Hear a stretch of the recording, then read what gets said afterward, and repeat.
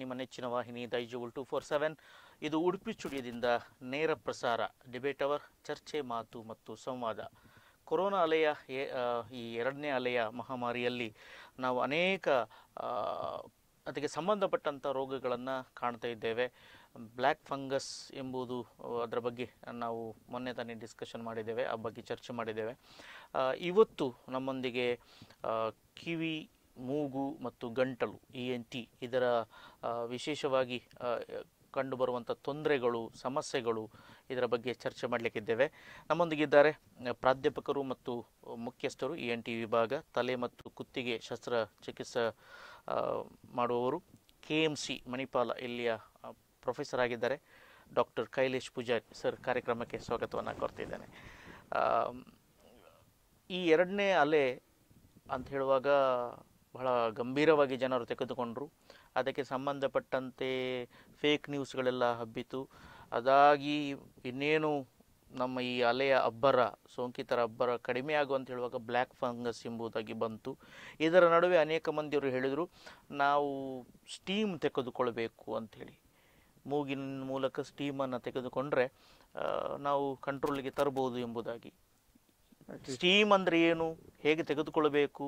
ಯಾಕೆ ಅದರ ಅಗತ್ಯ ಏನು? ಯಾವುದರ ಬಗ್ಗೆ ತೆಗೆದುಕೊಳ್ಬೇಕು ನಾವು? ಆ್ಯಕ್ಚುಲಿ ಈ ಟೈಮ್ನಲ್ಲಿ ಸ್ಟೀಮ್ ತಗೊಳ್ಳೋದು ಒಳ್ಳೆಯದಲ್ಲ ಯಾಕಂದ್ರೆ ಸ್ಟೀಮ್ ಅಂದರೆ ಬಿಸಿ ಹಾವಿ. ಅದ್ರೇನಾಗ್ತದೆ ಆಲ್ರೆಡಿ ಮೂಗು ಸ್ವಲ್ಪ ಇದು ಮ್ಯೂಕೋಸ್ ಅಂದರೆ ಜನ್ಮಗೆಲ್ಲ ಆಲ್ರೆಡಿ ಕೋವಿಡಿಂದ ಸ್ವಲ್ಪ ಸಾಫ್ಟ್ ಮತ್ತು ಇದಿರ್ತದೆ ಅದರಿಂದ ಸ್ಟೀಮ್ ತಗೊಳ್ಳುವಾಗ ಅದು ಬಿಸಿಯಿಂದ ಅದರಲ್ಲಿ ಸ್ವಲ್ಪ ಗಾಯ ಆಗಿ ಮತ್ತು ಬೇರೆ ಪ್ರಾಬ್ಲಮ್ ಆಗೋದು ಸಂಭಾವನೆ ಇದೆ. ಅದಕ್ಕೋಸ್ಕರ ನಾವು ಆ್ಯಕ್ಚುಲಿ ಈಗ Advise ಮಾಡೋದಿಲ್ಲ. ಮಾಡೋದಿಲ್ಲ. ಸ್ಟೀಮ್ ಮೆನಿಲೇಷನ್ ಅವಾಯ್ಡ್ ಮಾಡಿ ಮಾಡೋದು ಒಳ್ಳೆಯದು. ಅಲ್ಲ ಈಗ ಸ್ಟೀಮ್ ತೆಗೆದುಕೊಳ್ಳುವಂಥದ್ದು ಮೊದಲಿನಿಂದ ಇತ್ತು. ಯಾವ ರೀತಿ ತೆಗೆದುಕೊಂಡ್ರೆ ಯಾವ ರೀತಿಯಲ್ಲಿ ತೆಗೆದುಕೊಳ್ಳಬೇಕು ಮತ್ತು ಯಾರು ತೆಗೆದುಕೊಳ್ಳಬೇಕು? ಅದೇ ಕೆಲವರು ಸೈನಸ್ ಪ್ರಾಬ್ಲಮ್ ಇದ್ದರೆ ಮೂಗು ಬ್ಲಾಕ್ ಇದ್ದರೆ ಆದರೂ ಸಹ ಎಷ್ಟು ಇಂಪ್ರೂವ್ಮೆಂಟ್ ಆಗ್ತದೆ ಅದರಲ್ಲಿ ಅದು ಹೇಳಲಿಕ್ಕೆ ಆಗೋದಿಲ್ಲ. ಬೇರೆ ಔಷಧಿ ಇಲ್ಲ- ಇದೆ. ಅದಕ್ಕೋಸ್ಕರ ನಾವು ಅದು ಆ್ಯಕ್ಚುಲಿ ಈಗ ಅಡ್ವೈಸ್ ಮಾಡೋದಿಲ್ಲ ಸ್ಟೀಮ್ ಎಲ್ಲ. ಸರಿ. ಈಗ ಬ್ಲ್ಯಾಕ್ ಫಂಗಸ್ ಎಂಬುದು ವೈಟ್ ಫಂಗಸ್ ಆಯಿತು, ಎಲ್ಲೋ ಆರೆಂಜ್ ಅಂತೇಳಿ ಬಣ್ಣಗಳ, ಬೇರೆ ಬೇರೆ ಬಣ್ಣಗಳ ಹೆಸರೆಲ್ಲ ಬರಲಿಕ್ಕೆ ಪ್ರಾರಂಭವಾಯಿತು. ಕಣ್ಣನ್ನೇ ಸಾಮಾನ್ಯವಾಗಿ ತೋರಿಸ್ತಾರೆ. ಈಗ ಕಿವಿಯ ಎಷ್ಟು ಇಫೆಕ್ಟ್ ಇದೆ ಈ ಕೋವಿಡ್ನಿಂದ ಅಥವಾ ಈ ಫಂಗಸ್ನಿಂದ? ಕಿವಿಗೆ ಏನಾದರೂ ಇಫೆಕ್ಟ್ ಇದೆಯಾ? ಕೋ, ಕೋವಿಡ್ನಿಂದಾಗಿ ಏನಾದರೂ ತೊಂದರೆ ಇದೆಯಾ? ಕಿವಿಗೆ ಕಿವಿಗೆ ತೊಂದರೆ ಆಗೋದು ತುಂಬ ಕಡಿಮೆ. ನಮ್ಮಲ್ಲಿ ಒಂದು ಒಂದು ವರ್ಷದಲ್ಲಿ ಬರೀ ಎರಡು ಪೇಷಂಟ್ ಬಂದಿದ್ದಾರೆ. ಅದು ಕಿವಿ ಕೇಳಿಸೋದು ಕಡಿಮೆ ಆಗಿದೆ ಅಂತ. ಅದು ಕೋವಿಡ್ ಆದ ನಂತರ. ಅಷ್ಟೇ. ಕೋವಿಡ್ ಬಂದು ಹೋದ ಮೇಲೆ. ಹೌದು. ಹಾಗಾದ್ರೆ ಕಿವಿಗೆ ಕಿವಿಗೇನು ಇಫೆಕ್ಟ್ ಇಲ್ಲ? ಬರೀ ಅದೇ ಎರಡು ಪೇಷಂಟ್ ಮಾತ್ರ. ಅವ್ರದ್ದು ಕಿವಿದು ನರ ಸ್ವಲ್ಪ ವೀಕ್ ಆಗಿದೆ. ಕೇಳಿಸೋದು ಸ್ವಲ್ಪ ಕಡಿಮೆ ಆಗಿದೆ. ಅಂದ್ರೆ ಬೇರೆ ಕಾರಣದಿಂದಲೂ ಕೂಡ ಬರ್ಬೋದು. ಇರ್ಬೋದು ಇರ್ಬೋದು. ಸರ್ ಈಗ ಯಾವಾಗಲೂ ಥ್ರೋಟ್ ಹಾಗಾಗಿ ನಾವು ಮಾಸ್ಕ್ ಹಾಕ್ಕೊಳ್ಬೇಕು ಮೂಗನ್ನು ಮುಚ್ಕೊಳ್ಬೇಕು ಬಾಯಿಯನ್ನು ಮುಚ್ಕೊಳ್ಬೇಕು ಅಂತೇಳಿ. ಬಾಯಿಯ ಮೂಲಕ ಆಹಾರವೂ ಹೋಗ್ತದೆ ರೋಗವೂ ಕೂಡ ಹೋಗುವಂತ ಪರಿಸ್ಥಿತಿ ಬಂದಿದೆ ಈಗ. ಎಷ್ಟರ ಮಟ್ಟಿಗೆ ಗಂಟಲು ಕಾರಣವಾಗುತ್ತೆ? ಅಥವಾ ಗಂಟಲು ಕೆರೆತ ಬಂದ ಕೂಡಲೇ ಕೋವಿಡ್ ಅಂತೇಳಿ ಯೋಚನೆ ಮಾಡ್ಬೇಕಾ? ಇಲ್ಲ ಇಲ್ಲ. ಅದು ಗಂಟಲು ಕೆರೆತ ಬೇರೆ ಕಾರಣದಿಂದ ಆಗುತ್ತೆ ಅಲರ್ಜಿಯಿಂದ ಆಗ್ತದೆ ಅಸಿಡಿಟಿಯಿಂದ ಆಗ್ತದೆ ಬೇರೆ ಬೇರೆ ಕಾರಣದಿಂದ ಆಗ್ತದೆ. ಆದರೂ ಇದು ಕೋವಿಡ್ ಅಂದರೆ ಗಂಟಲು ಕೆಲವರಿಗೆ ನೋವು ಇರ್ತದೆ ಜ್ವರ ಇರ್ತದೆ. ಯಾಕೆಂದರೆ ಯಾಕೆಂದ್ರೆ ಶ್ವಾಸ ತೆಗೆದು ಬರೀ ಮೂಗಿಂದಲ್ಲ ಕೆಲವರು ಬಾಯಿಂದ ಸಹ ಶ್ವಾಸ ತಗೊಳ್ತಾರೆ. ಅದರಿಂದ ಇದು ಗಂಟ್ಲಿಗೆ ಕೆಲವರಿಗೆ ಅದೇ ಹೇಳಿದರು ಇದು ಗಂಟ್ಲು ನೋವಿರ್ತದೆ, ಅದು ಕಡಿಮೆ ಆಗೋದಿಲ್ಲ, ಮತ್ತು ಕೆಲವರಿಗೆ ಕುತ್ತಿಗೆ ನೋವಾಗ್ತದೆ ಅದು ಕೆಲವರಿಗೆ ಕೋವಿಡ್ ಆದ ನಂತರ ಹೆದರಿಕೆಯಿಂದ ಹೇಳ್ತಾರೆ, ಅದು ಸ್ವಲ್ಪ ಟೈಟ್ ಆಗಿದೆ ಗಂಟಲು ಗಂಟ್ಲು ನೋವು ಮತ್ತು ಕುತ್ತಿಗೆ ನೋವು ಉಂಟು ಅಂತ ಹೇಳ್ತಾರೆ. ಈಗ ಒಬ್ಬರೊಬ್ಬರನ್ನು ಮಾತಾಡುವಾಗ ಹೆದರಿಕೆ ಜಾಸ್ತಿ ಆಗುತ್ತೆ. ಹೌದು ಹೌದು. ಆ ರೀತಿಯಲ್ಲಿ ಆಗುವಂತದ್ದು ಸಾಧ್ಯತೆಗಳೆಲ್ಲ. ಮತ್ತೆ ಕೆಲವರಿಗೆ ಅದು ಗಂಟಲು ಇರ್ತದೆ ಕೋವಿಡ್ ಇರುವಾಗ. ಅದು ಮೆಲ್ಲ ಕಡಿಮೆ ಆಗ್ತದೆ. ಕೆಲವರಿಗೂ ಕೋವಿಡ್ ಅದು ಜ್ವರ ಎಲ್ಲ ಕಡಿಮೆ ಆದ ನಂತರ ಕೆಲವರಿಗೆ ಮೂರು ವಾರ ಇರ್ತದೆ ಕೆಲವರಿಗೆ. ಅದು ತನ್ನಷ್ಟೇ ಸರಿಯಾಗ್ತದೆ. ಈಗ ಮೊದಲ ಕೊರೋನಾದ ಮೊದಲನೇ ಅಲೆಯಲ್ಲಿ ಇರ್ಬೋದು ಈಗ ಇರಬಹುದು ಸಾಮಾನ್ಯ ಜನಸಾಮಾನ್ಯರಲ್ಲಿ ಸಾಮಾನ್ಯವಾಗಿ ಕಾಣುವಂಥದ್ದು ಈಗ ಎಲ್ಲರೂ ಕೂಡ ಬಿಸಿ ನೀರು ಕುಡಿತಾರೆ. ಬಿಸಿ ಬಿಸಿ ನೀರನ್ನು ಕುಡಿಯುತ್ತಾರೆ. ಅದು ಎಷ್ಟು ಇಫೆಕ್ಟಿವ್ ಬಿಸಿ ನಾನು ಕೇಳಿದ ಪ್ರಕಾರ ವೈದ್ಯರ ಸಲಹೆಯಂತೆ ಬಿಸಿ ನೀರನ್ನ ಆರಿಸಿ ಕುಡಿಬೇಕು ಅಂತೇಳಿ. ನೀವೇನು ಸಜೆಸ್ಟ್ ಮಾಡ್ತೀರಾ? ಬಿಸಿ ನೀರು ಕುಡಿಬೇಕಾ ಆರಿಸಿಕೊಳ್ಬೇಕಾ ಅದೇ ಬಿಸಿ ಹದ ಬೆಸಿ ನೀರು ತಗೊಂಡ್ರೆ ತೊಂದರೆ ಇಲ್ಲ. ಯಾಕಂದ್ರೆ ಅದು ಗಂಟ್ಲಿಗೆ ಒಳ್ಳೇದು. ಕೋಲ್ಡ್ ಆದ್ರೆ ಏನಾಗ್ತದೆ ಗಂಟ್ಲಿದು ಟೆಂಪ್ರೇಚರ್ ಸ್ವಲ್ಪ ಕಡಿಮೆ ಆಗ್ತದೆ. ಅದರಿಂದ ಗಂಟ್ಲು ಕೆಲವರಿಗೆ ಸ್ಟಾರ್ಟ್ ಆಗ್ತದೆ. ಅದರಿಂದ. ಹದ ಬಿಸಿ ನೀರು ತೊಂದರೆ ಇಲ್ಲ. ಯಾವಾಗಲೂ ಕುಡಿಬಹುದು ಕುಡಿಬೋದು. ಅದು ಕೊರೋನಾ ಗಂಟಲೇ ಕುಡಿಬೇಕಾಗಿಲ್ಲ. ಇಲ್ಲ ಇಲ್ಲ. ಅದು ಗಂಟ್ಲಿಗೆ ಒಳ್ಳೇದು ಆ್ಯಕ್ಚುಲಿ ಸರಿ. ನೀರು ಹಾ ಹಾ. ಈ ಮಾಸ್ಕನ್ನು ಹಾಕುವಾಗ ಈಗೀಗ ಈಗ ಮುಂಬೈ ನಗರಗಳಲ್ಲಿ ಅಥವಾ ಉತ್ತರ ಪ್ರದೇಶದಲ್ಲಿ ಕೋವಿಡ್ ಅಲೆ ಜಾಸ್ತಿ ಇರುವಂಥ ಪ್ರದೇಶಗಳಲ್ಲಿ ಎರಡೆರಡು ಮಾಸ್ಕ್ ಹಾಕುವಂಥ ಪ್ರಸಂಗ ಬಂದಿದೆ. ಅದರಲ್ಲಿ ಕೆಲವು ಮಾಧ್ಯಮಗಳು ಹೇಳ್ತವೆ ಆ ಇದರಿಂದ ಮಾಸ್ಕ್ನಿಂದಲೇ ಫಂಗಸ್ ಬರಲಿಕ್ಕೆ ಸಾಧ್ಯ ಇದೆ ಅಂತೇಳಿ. ಆ್ಯಕ್ಚುಲಿ ಈ ಫಂಗಸ್ ಬರಲಿಕ್ಕೆ ಕಾರಣ ಏನು ಮತ್ತು ಮಾಸ್ಕ್ ಎರಡು ಹಾಕಬೇಕಾ? ಅಥವಾ ಒಂದು ಹಾಕಿದರೂ ಕೂಡ ಸಮರ್ಪಕವಾಗಿ ಹಾಕಬೇಕಾ? ಒಂದು ಹಾಕಿದರೆ ಸಾಕು. ಯಾಕೆಂದರೆ ಅದು ಮಾಸ್ ಸರಿ ಇರಬೇಕು ಒಂದು ಸರಿ ಹಾಕಬೇಕು. ಕೆಲವ್ರು ಏನಾಗ್ತಾರೆ ಅದು ಮೂಗಿನ ಮೇಲೆ ಹಾಕೋದಿಲ್ಲ ಅದು ಇಲ್ಲಿ ತನಕ ಬರ್ತದೆ ಮಾಸ್ಕ್. ಹೌದು ಅದು ಒಂದು ಆಕ್ಚುಲಿ ಪ್ರಯೋಜನ ಇಲ್ಲ. ಮತ್ತೆ ಮೂಗು ಅಡಿನಲ್ಲಿ ಈಗ ಮೂ- ಬಾಯಿ ಮಾತ್ರ ಕವರ್ ಆಗ್ತದೆ ಅದು ಸಹ ಸರಿಯಲ್ಲ. ಮಾಸ್ಕ್ ಹಾಕುವಾಗ ಒಂದು ಸರಿ ಹಾಕಬೇಕು. ಇಲ್ಲಿ ಹಾಕುವಾಗ ಇಲ್ಲಿ ಸ್ವಲ್ಪ ಟೈಟ್ ಇರಬೇಕು. ಯಾಕೆಂದರೆ ಮೇಲಿಂದ ಸಹ ಗಾಳಿ ಹೋಗಬಾರ್ದು. ಮತ್ತು ಮಾಸ್ಕ್ ಕ್ಲಾತ್ ಮಾಸ್ಕ್ ಆದರೆ ಪದೇ ಪದೇ ವಾಶ್ ಮಾಡಬೇಕು. ಅದು ಕ್ಲೀನ್ ಇರಬೇಕು. ಮತ್ತು ಅದು ಬೇರೆ ಮಾಸ್ಕ್ ಎಲ್ಲ ಜಾಸ್ತಿ ಸಮಯ ಇಡಬಾರ್ದು. ಯಾಕೆಂದರೆ ಅದನ್ನು ಬಿಸಾಡಬೇಕು. ಯಾಕೆಂದರೆ ಅದು ಈ ನಾವು ಮಾತಾಡುವಾಗ ಬಾಯಿದು ಎಲ್ಲ ಜೊಲ್ಲೆಲ್ಲ ಸಲಹೆ ಎಲ್ಲ ಹೊರಗಡೆ ಬರ್ತದೆ. ಊಟ ಮಾಡಿದ ನಂತರ ಅದು ಸಹ ಆಗ್ತದೆ ಅದು ಏನಾಗ್ತದೆ? ಅದು ಒಂದು ಟೈಪ್ ಇದು ಇನ್ಫೆಕ್ಷನ್ ಅದರಿಂದ ಕ್ರಿಯೇಟ್ ಆಗ್ತದೆ ಅದರಿಂದ. ಅದು ಅಲ್ಲಿಂದ ಕಣ್ಣಿಗೆ ಎಫೆಕ್ಟ್ ಉಂಟಂತ ಹೇಳೋದು ನೀವು? ಕಣ್ಣಿಗಲ್ಲ ಅದು ಮೂಗಿಗೆ. ಮೊದಲು ಇದು ಬ್ಲ್ಯಾಕ್ ಫಂಗಸ್ ಜಾಸ್ತಿ ಮೂಗುಗೆ ಎಫೆಕ್ಟ್ ಆಗೋದು ಅಲ್ಲಿಂದ ಕಣ್ಣಿಗೆ ಹೋಗೋದು. ಮೂಗು ಮತ್ತೆ ಸೈನಸ್ ಇಂದ. ಅದು ಅದರಿಂದ ಮತ್ತೆ ಬರೀ ಸ್ಟಾರ್ಟ್ ಆಗೋದು ಮೂಗಿಂದ ಅದ ನಂತರ ಕಣ್ಣಿಗೆ ಎಫೆಕ್ಟ್ ಆಗೋದು ಮತ್ತೆ ಮೆದುಳಿಗೆ ಹೋಗ್ತದೆ ಕೆಲವೊಮ್ಮೆ ಕೆಲವರಿಗೆ. ಕಂಟ್ರೋಲ್ ಆಗ್ಲಿದ್ರೆ. ಈಗ ನಮ್ಮ ಇದರಲ್ಲಿ ಕಿವಿಯಲ್ಲಿ ಎಂಡೋಲಿಂಪ್ ಮತ್ತು ಪೆರಿಲಿಂಪ್ ಎರಡು ದೊರಗಳು ಇರ್ತವೆ. ಸಾಮಾನ್ಯವಾಗಿ ಅಭ್ಯಾಸ ಇರ್ತದೆ. ಕಿವಿಗೆ ಒಂದು ಪೆನ್ ಹಾಕುವಂಥದ್ದು ಬಟ್ ಬಟ್ಸ್ ಬರುವ ಎಲ್ಲ ಮೊದಲು ಆಮೇಲೆ ಬಟ್ಸ್ ಹಾಕುವಂಥದ್ದು. ಆದರೂ ನೀವು ವೈದ್ಯರು ಬಟ್ಸ್ ಕೂಡ ನಾಟ್ ಅಡ್ವೈಸಬಲ್ ಅಂತ ಹೇಳ್ತೀರಿ. ಅದು ಈ ಒಳಗಿರುವಂಥ ದ್ರವಾಂಶವನ್ನು ತೆಗೆಯುವಂಥದ್ದು ಮುಖ್ಯವಾ? ಅಥವಾ ತನ್ನಷ್ಟಕ್ಕೆ ಅದು ಹೋಗ್ತದ? ಅದು ಬಾಯಿ ಸ್ವಚ್ಛ ಮಾಡಿದಾಗೆ ಮೂಗು ಸ್ವಚ್ಛ ಮಾಡಿದಾಗೆ ಕಿವಿ ಸ್ವಚ್ಛ ಮಾಡುವಂಥ ಏನಾದರೂ ಕ್ರಮ ಉಂಟಾ? ಇಲ್ಲ ಅದು ಏನಂದರೆ ಇದು ಕಿವಿದು ಅದು ವ್ಯಾಕ್ಸ್ ವ್ಯಾಕ್ಸ್ ಅಲ್ಲ ಅದು ತನ್ನಷ್ಟೇ ಜಾಸ್ತಿ ಹೊರಗಡೆ ಬರ್ತದೆ. ತೆಗೆದಾದರೆ ಹೊರಗಡೆಯಿಂದ ತೆಗಿಬೇಕಾಗ್ತದೆ. ಕೆಲವರಿಗೆ ಏನಾಗ್ತದೆ ಅದು ಕಿವಿದು ದ್ವಾರ ಉಂಟಲ್ಲ ಅದು ಸ್ವಲ್ಪ ಸಣ್ಣದಿರ್ತದೆ. ಅದರಿಂದ ಇದು ಕಿವಿದು ವ್ಯಾಕ್ಸ್ ಸರಿ ಹೊರಗಡೆ ಬರುವುದಿಲ್ಲ ಅವರಿಗೆ ಒಂದು ಆರು ತಿಂಗಳೊಮ್ಮೆ ವರ್ಷಕ್ಕೊಮ್ಮೆ ತೆಗಿಬೇಕಾಗ್ತದೆ.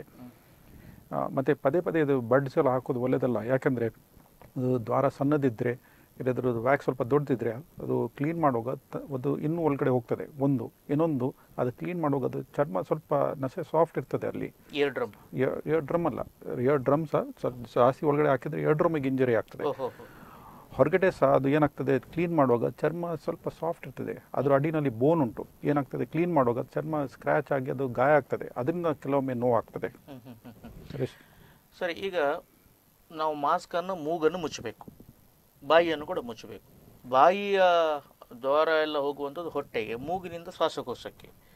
ಈ ಅದರ ಕನೆಕ್ಷನ್ ಏನು ಕೋವಿಡ್ನೊಟ್ಟಿಗೆ ಕೋವಿಡ್ ಅಂದರೆ ಇದು ಕೋವಿಡ್ ಅಂದರೆ ಇದು ಜಾಸ್ತಿ ಡ್ರಾಪ್ಲೆಟ್ ಅಂದರೆ ಶ್ವಾಸ ತೆಗೆಯುವಾಗ ಅದು ಸ್ಪ್ರೆಡ್ ಆಗ್ತದೆ. ಅದಕ್ಕೋಸ್ಕರ ಮಾಸ್ಕ್ ಹಾಕಲಿಕ್ಕೆ ಹೇಳ್ತಾ ಇದ್ವಿ ನಾವು. ಮತ್ತೆ ಡಬಲ್ ಮಾಸ್ಕ್ ಹಾಕೋದು ಅವಶ್ಯಕತೆ ಇಲ್ಲ. ಒಂದು ಸರಿ ಇದ್ರೆ ಒಂದು ಮಾಸ್ಕ್ ಸಾಕು. ಈಗ ಅದು ಲಂಗ್ಸಿಗೆ ಹೇಗೆ ಎಫೆಕ್ಟ್ ಆಗ್ತದೆ? ಲಂಗ್ಸಿಗೆ ಏನಾಗ್ತದೆ ಇದು ಮೊದಲು ಕೊರೋನಾ ಮೂಗಿಂದ ಹೋದ್ರ ನಂತರ ಶ್ವಾಸಕೋಶ ಒಳಗಡೆ ಹೋಗ್ತದೆ. ಅಲ್ಲಿಂದ ಅದು ಬೇರೆ ಟೈಪ್ದು ರಿಯಾಕ್ಷನ್ ಆಗ್ತದೆ ಲಂಗ್ಸ್ನಲ್ಲಿ ಅದರಿಂದ ಇದು ಅವರಿಗೆ ಶ್ವಾಸ ತೆಗಿಲಿಕ್ಕೆಲ್ಲ ಕಷ್ಟ ಆಗೋದು. ಮೊದಲು ಗೊತ್ತಾಗೋದಿಲ್ಲ ಲಂಗ್ಸಿಗೆ ಎಫೆಕ್ಟ್ ಇರ್ತದೆ ಆದರೂ ಗೊತ್ತಾಗೋದಿಲ್ಲ. ಅದಕ್ಕೆ ಹ್ಯಾಪಿ ಅನಾಕ್ಸಿಕ್ಸ್ ಅಂತ ಹೇಳ್ತೀವಿ. ಅಂದರೆ ಅವರಿಗೆ ಶ್ವಾಸಕೋಶದಲ್ಲಿ ಪ್ರಾಬ್ಲಮ್ ಉಂಟು ಆದರೂ ಅವರಿಗೆ ಅಷ್ಟು ಪ್ರಾಬ್ಲಮ್ ಇರೋದ ಮೊದಲು. ಮತ್ತೆ ಕಷ್ಟ ಆಗ್ತದೆ ಉಸಿರಾಡಲಿಕ್ಕೆ. ನಡೆಯುವಾಗ ಸ್ವಲ್ಪ ನಡೆದ್ರೆ ಮತ್ತೆ ಉಸಿರಾಡ್ಲಿಕ್ಕೆ ಕಷ್ಟ ಆಗ್ತದೆ. ಎಕ್ಸ್ ರೇ ಎಕ್ಸ್ರೇ ಮತ್ತು ಸ್ಕ್ಯಾನ್ ತೆಗೆದ ನಂತರ ಗೊತ್ತಾಗ್ತದೆ ಲಂಗ್ಸ್ಗೆ ಎಷ್ಟು ಎಫೆಕ್ಟ್ ಆಗಿದೆ ಅಂತ. ಈಗ ಮೊದಲನೆಯ ಕೋವಿಡ್ ಮಹಾಮಾರಿಯಲ್ಲಿ ನಾವು ಹೊಸ ಹೊಸ ಶಬ್ದಗಳನ್ನೆಲ್ಲ ಕೇಳಿದ್ದೇವೆ. ಕ್ವಾರಂಟೈನ್ ಇರ್ಬೋದು ಮಾಸ್ಕ್ ಇರ್ಬೋದು ಸ್ಯಾನಿಟೈಸರ್ ಇರ್ಬೋದು ಸೋಷಿಯಲ್ ಡಿಸ್ಟೆನ್ಸ್ ಇರ್ಬೋದು. ಆದರೆ ಆಕ್ಸಿಜನ್ ಎಂಬ ಪದ ಮೊದಲ ಅಲೆಯಲ್ಲಿ ಕೇಳಿ ಕೇಳಲಿಕ್ಕೆ ಬಂದದ್ದು ಬಹಳ ಕಡಿಮೆ. ಈ ಬಾರಿಯಲ್ಲಿ ಎರಡನೇ ಅಲೆಯಲ್ಲಿ ಸೆಕೆಂಡ್ ವೇವ್ನಲ್ಲಿ ಆಕ್ಸಿಜನ್ ಇಲ್ಲ ಆಕ್ಸಿಜನ್ ಕೊರತೆ ಆಕ್ಸಿಜನ್ ಆಕ್ಸಿಜನ್ ಅಂತ ಬರುತ್ತೆ.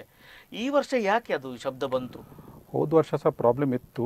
ಆದರೂ ಬೇರೆ ಕಡೆ ಎಲ್ಲ ಆಕ್ಸಿಜನ್ ಎಲ್ಲ ಕಡಿಮೆ ಇತ್ತು. ಐ ಸಿ ಯುದು ಪ್ರಾಬ್ಲಮ್ ಎಲ್ಲ ಯುರೋಪ್ನಲ್ಲಿ ಯು ಎಸ್ನಲ್ಲಿ ಇಂಡಿಯಾನಲ್ಲಿ ಅಷ್ಟು ಇರಲಿಲ್ಲ.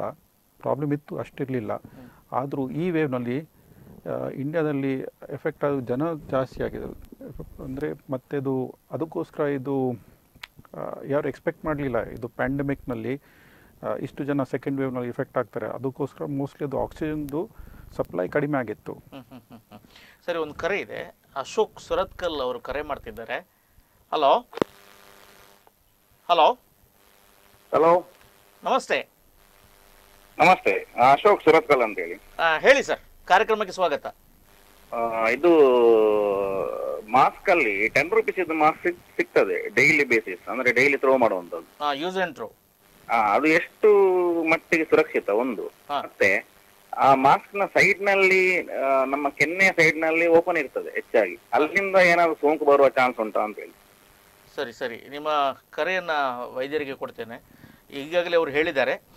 ಸರ್ ಅದು ಆ್ಯಕ್ಚುಲಿ ಅದು ಮಾಸ್ ಸರಿ ಹಾಕಬೇಕು ಮಾಸ್ ಸರಿಯಾಗಿ ತಗೊಳ್ಬೇಕು ಯಾಕೆಂದರೆ ಅದು ಪೂರ್ತಿ ಕವರ್ ಆಗಬೇಕು. ಇಲ್ಲಿ ಒಂದು ಸ್ಟ್ರಿಪ್ ಇರ್ತದೆ ಅದು ಟೈಟ್ ಮಾಡಿದರೆ ಮೇಲಿಂದ ಹೋಗೋದಿಲ್ಲ.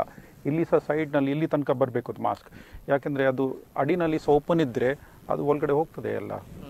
ಸೈಡ್ನಲ್ಲಿ ಸಹ. ಮತ್ತೆ ಅವರು ಹೇಳಿದರು ಯೂಸ್ ಆ್ಯಂಡ್ ಥ್ರೋ ಮಾಸ್ಕ್ ಎಷ್ಟು ದಿವಸ ಬಳಸ್ಬೋದು ಅಂತ. ಯೂಸ್ ಆ್ಯಂಡ್ ಥ್ರೂ ಒಂದು ದಿವಸ ಮಾತ್ರ. ಅದು ಕ್ಲಾತ್ ಮಾಸ್ಕ್ ಆದರೆ ವಾಶ್ ಮಾಡಿ ಯೂಸ್ ಮಾಡ್ಬೋದು. ಮತ್ತು ಅದು ಕ್ಲೀನ್ ಇರಬೇಕು. ಹಲೋ ಹಲೋ ಹಾ ಟೆನ್ ರುಪೀಸ್ ಇದ್ದು ಎಷ್ಟು ಸೇಫ್ ಅಂತ ಹೇಳಿ ಟೆನ್ ರುಪೀಸ್ ಅಂದ್ರೆ ಯೂಸ್ ಅಂತ ಥ್ರೋ ಎಷ್ಟು ಸೇಫ್ ಅಂತ ಪರ್ ಡೇ ಒಂದು ದಿವಸಕ್ಕೆ ಬಳಸ್ಕೊಳ್ಬೋದಂತೆ. ಆಯ್ತಾಯ್ತು ಓಕೆ. ಸರಿ ಸರಿ. ಒಂದು ದಿವಸ ಅಂದರೆ ಇಡೀ ದಿವಸ ಅಲ್ಲ? ಒಂದು ದಿವಸ ಅಂದ್ರೆ ಇಡೀ ದಿವಸ ಅಲ್ಲ? ಒಂದು ಐದಾರು ಗಂಟೆಗೆ. ಆ, ಸರಿ. ಈಗ ಅದರಲ್ಲಿ ಎನ್ ನೈಂಟಿ ಫೈವ್ ಎಂಬುದಾಗಿ ಇದೆ. ಕಾಸ್ಟ್ ಕೂಡ ಇದೆ ಅದಕ್ಕೆ. ಆ, ಅದನ್ನೇ ಬಳಸ್ಕೊಳ್ಬೇಕಾ? ಅದನ್ನು ಇಲ್ಲ ಅವಶ್ಯಕತೆ ಇಲ್ಲ. ಬೇರೆ ಹಾಸ್ಪಿಟಲ್ ಸೆಟ್ಟಿಂಗ್ನಲ್ಲಿ ಯೂಸ್ ಮಾಡಿದರೆ ಒಳ್ಳೆಯದು ಯಾಕಂದ್ರೆ ಯಾಕಂದರೆ ಅದು ಹೊರಗಡೆ ಅಷ್ಟು ಅವಶ್ಯಕತೆ ಇಲ್ಲ. ಕ್ರೌಡೆಡ್ ಜಾಗದಲ್ಲಿ ಯೂಸ್ ಮಾಡಬೇಕಾಗ್ತದೆ ಇಲ್ಲ ಬೇರೆ ಕಡೆ ಎಲ್ಲ ಯೂಸ್ ಮಾಡೋದು ಅವಶ್ಯಕತೆ ಇಲ್ಲ. ಮತ್ತು ಅದು ಸಹ ನಾವು ಜಾಸ್ತಿ ಸಮಯ ಯೂಸ್ ಮಾಡಬಾರ್ದು. ಸರ್ ಇನ್ನೊಂದು ಕರೆ ಇದೆ. ಡೈಸಿ ತಕ್ಕೊಟ್ಟು ಇಂದ ಕರೆ ಮಾಡ್ತಾ ಇದ್ದಾರೆ. ನಮಸ್ಕಾರ. ನಮಸ್ತೆ ಹಲೋ ಹಲೋ ಸರ್ ನಮಸ್ತೆ. ನಮಸ್ತೆ. ತೊಕ್ಕೊಟ್ಟಿನಿಂದ ಡೈಸಿ ಹೇಳಿ. ಸರ್ ಹತ್ರ ಸ್ವಲ್ಪ ಮಾತಾಡ್ಬೇಕಿತ್ತು. ಹಾ ಹೇಳಿ. ಸರ್ ನನ್ನ ಮಗನದ್ದು ಅವನಿಗೆ ಹದಿಮೂರು ಹದಿಮೂರು ವರ್ಷ ಆಗಿದೆ. ಹಾ. ಅವನದ್ದು ಮೊನ್ನೆ ಒಂದು ಕಣ್ಣು ಸ್ವಲ್ಪ ಆ, ರೆಪ್ಪೆ ಮೇಲೆ ದಪ್ಪ ಆಗಿತ್ತು. ಹಾ. ಈಗ ಮತ್ತೊಂದು ಕಣ್ಣು ರೆಪ್ಪೆ ಮೇಲೆ ದಪ್ಪ ಆಗಿದೆ ಸರ್. ಅದು ಏನು ಪ್ರಾಬ್ಲಮ್ ಸರ್? ಸರ್ ಅವ ಕಣ್ಣು ಮುಚ್ಚುವಾಗ ನೋವುಂಟು. ಎಷ್ಟು ಪ್ರಾಯ ಅವರಿಗೆ? ಅವನಿಗೆ ಹದಿಮೂರು ವರ್ಷ. ಹದಿಮೂರು ವರ್ಷದ ಹುಡುಗನಿಗೆ ಒಂದು ಕಣ್ಣು ರೆಪ್ಪೆ ದಪ್ಪ ಆಗಿತ್ತು ಆಮೇಲೆ ಇನ್ನೊಂದು ಆಗ್ಲಿಕ್ಕೆ ಪ್ರಾರಂಭ ಅದು ಕೆಲವೊಮ್ಮೆ ಸೈನಸ್ ಪ್ರಾಬ್ಲಮ್ ಇದ್ರೆ ಸಾಕ್ತದೆ. ಆಗ್ತದೆ ಬರೀ ಬ್ಲ್ಯಾಕ್ ಫಂಗಸ್ ಕೇಳ್ತದೆ ಅಮ್ಮ ಮೇಡಮ್ ಡಾಕ್ಟರ್ ಮಾತಾಡ್ತಾ ಇದ್ದಾರೆ ಕೇಳ್ತದೆ ನಿಮ್ಗೆ? ಅದು ಬರೀ ಇದು ಬ್ಲ್ಯಾಕ್ ಫಂಗಸ್ ಮ್ಯೂಕೋರಿಂದ ಆಗುದಿಲ್ಲ. ಬೇರೆ ಸೈನಸ್ ಪ್ರಾಬ್ಲಮ್ ಇದೆ ಆಗ್ತದೆ. ಸೈನಸೈಟಿಸ್ ಅಂತ ಬ್ಯಾಕ್ಟೀರಿಯಲ್ ಸೈನಸೈಟಿಸ್ ಅವ್ರು ಏನ್ ಈಗ? ಅದು ಅದು ಸ್ಕ್ಯಾನ್ ಮಾಡಬೇಕಾಗ್ತದೆ. ಅದು ನೋಡ್ಲಿಕ್ಕೆ ಏನೊಂದು ಸೈಡ್ ಸೈನಸ್ಗೆ ಎಫೆಕ್ಟ್ ಆಗಿದೆ ಇಲ್ಲ ಅಂತ. ಸೈನಸ್ನಿಂದ ಬರುತ್ತಂತೆ? ಯಾವುದಕ್ಕೂ ನೀವು ಸಂಬಂಧಪಟ್ಟಂತ ಸೂಕ್ತ ವೈದ್ಯರಿಂದ ಸ್ಕ್ಯಾನ್ ಮಾಡಿಸಿ ಅದನ್ನ ತಿಳಿದುಕೊಳ್ಬೇಕಾಗತ್ತೆ. ಓಕೆ ಸರ್ ಓಕೆ ಸರಿ ಸರಿ ಸರಿ. Okay thank you thank you ಈಗ ನ- ನಾವು ಇ ಎನ್ ಟಿ ಅಂತ ಹೇಳುವಾಗ ಕಿವಿ ಮೂಗು ಮತ್ತು ಗಂಟಲು. ಈ ನೀವು ನೆಕ್ ಮತ್ತು ಹೆಡ್ಡಿನ ಶಸ್ತ್ರಚಿಕಿತ್ಸೆಯನ್ನು ಮಾಡುವವರು ಎಲ್ಲವೂ ಇಂಟರ್ ಕನೆಕ್ಟೆಡಾ ಕಣ್ಣು ಹಲ್ಲು ಮೂಗು ಬಾಯಿ ಕಿವಿ. ಹಾಂ ಸಾಧಾರಣ ಮಟ್ಟಿಗೆ ಹೌದು. ಕೆಲವೊಮ್ಮೆ ಹಲ್ಲಿದು ಪ್ರಾಬ್ಲಮ್ ಇರುವಾಗ ಸೈನಸ್ಗೆ ಎಫೆಕ್ಟ್ ಆಗ್ತದೆ. ಕೆಲವರಿಗೆ ಕಣ್ ಇದು ಸೈನಸ್ ಪ್ರಾಬ್ಲಮ್ ಇರುವಾಗ ಕಣ್ಣಿಗೆ ಎಫೆಕ್ಟ್ ಆಗ್ತದೆ. ಮತ್ತು ಸೈನಸ್ ಪ್ರಾಬ್ಲಮ್ನ ಮೆದುಳಿಗೆ ಎಫೆಕ್ಟ್ ಆಗ್ತದೆ. ಸೈನಸ್ ಪ್ರಾಬ್ಲಮ್ ಮೂಗಿದ ಪ್ರಾಬ್ಲಮ್ ಇರುವಾಗ ಗಂಟ್ಲಿಗೆ ಎಫೆಕ್ಟ್ ಆಗ್ತದೆ. ಇದೆಲ್ಲ ಅಂದರೆ ಕೆಲವೊಮ್ಮೆ ವಿಸ್ಡಮ್ ಟೂತ್ ಕೊನೆಗೆ ಬರುವಂಥ ಹಲ್ಲುಗಳು ಆ ಹಲ್ಲನ್ನು ಕೆಲವರು ವಿಪರೀತ ಪೇಯ್ನ್ ಉಂಟಂತೇಳಿ ತೆಗೀತಾರೆ. ತೆಗೆಯುವಾಗ ಕೆಲವರ ದೃಷ್ಟಿ ಕಡಿಮೆ ಆಗುತ್ತೆ. ಕೆಲವರ ಕಿವಿಯ ಹಿಯರಿಂಗ್ ಗ್ರಾಸ್ಪಿಂಗ್ ಅದು ಏನು ಹೇಳ್ತಾರೆ ಅದು ಡೆಸಿಮಲ್ಸ್ ಕೇಳುವಂಥದ್ದು ಕಡಿಮೆ ಆಗುತ್ತೆ. ಬೇರೆ ಕಾರಣದಿಂದ ಅದು ಅದು ಅದಕ್ಕೆ ಸಂಬಂಧ ಇಲ್ಲ.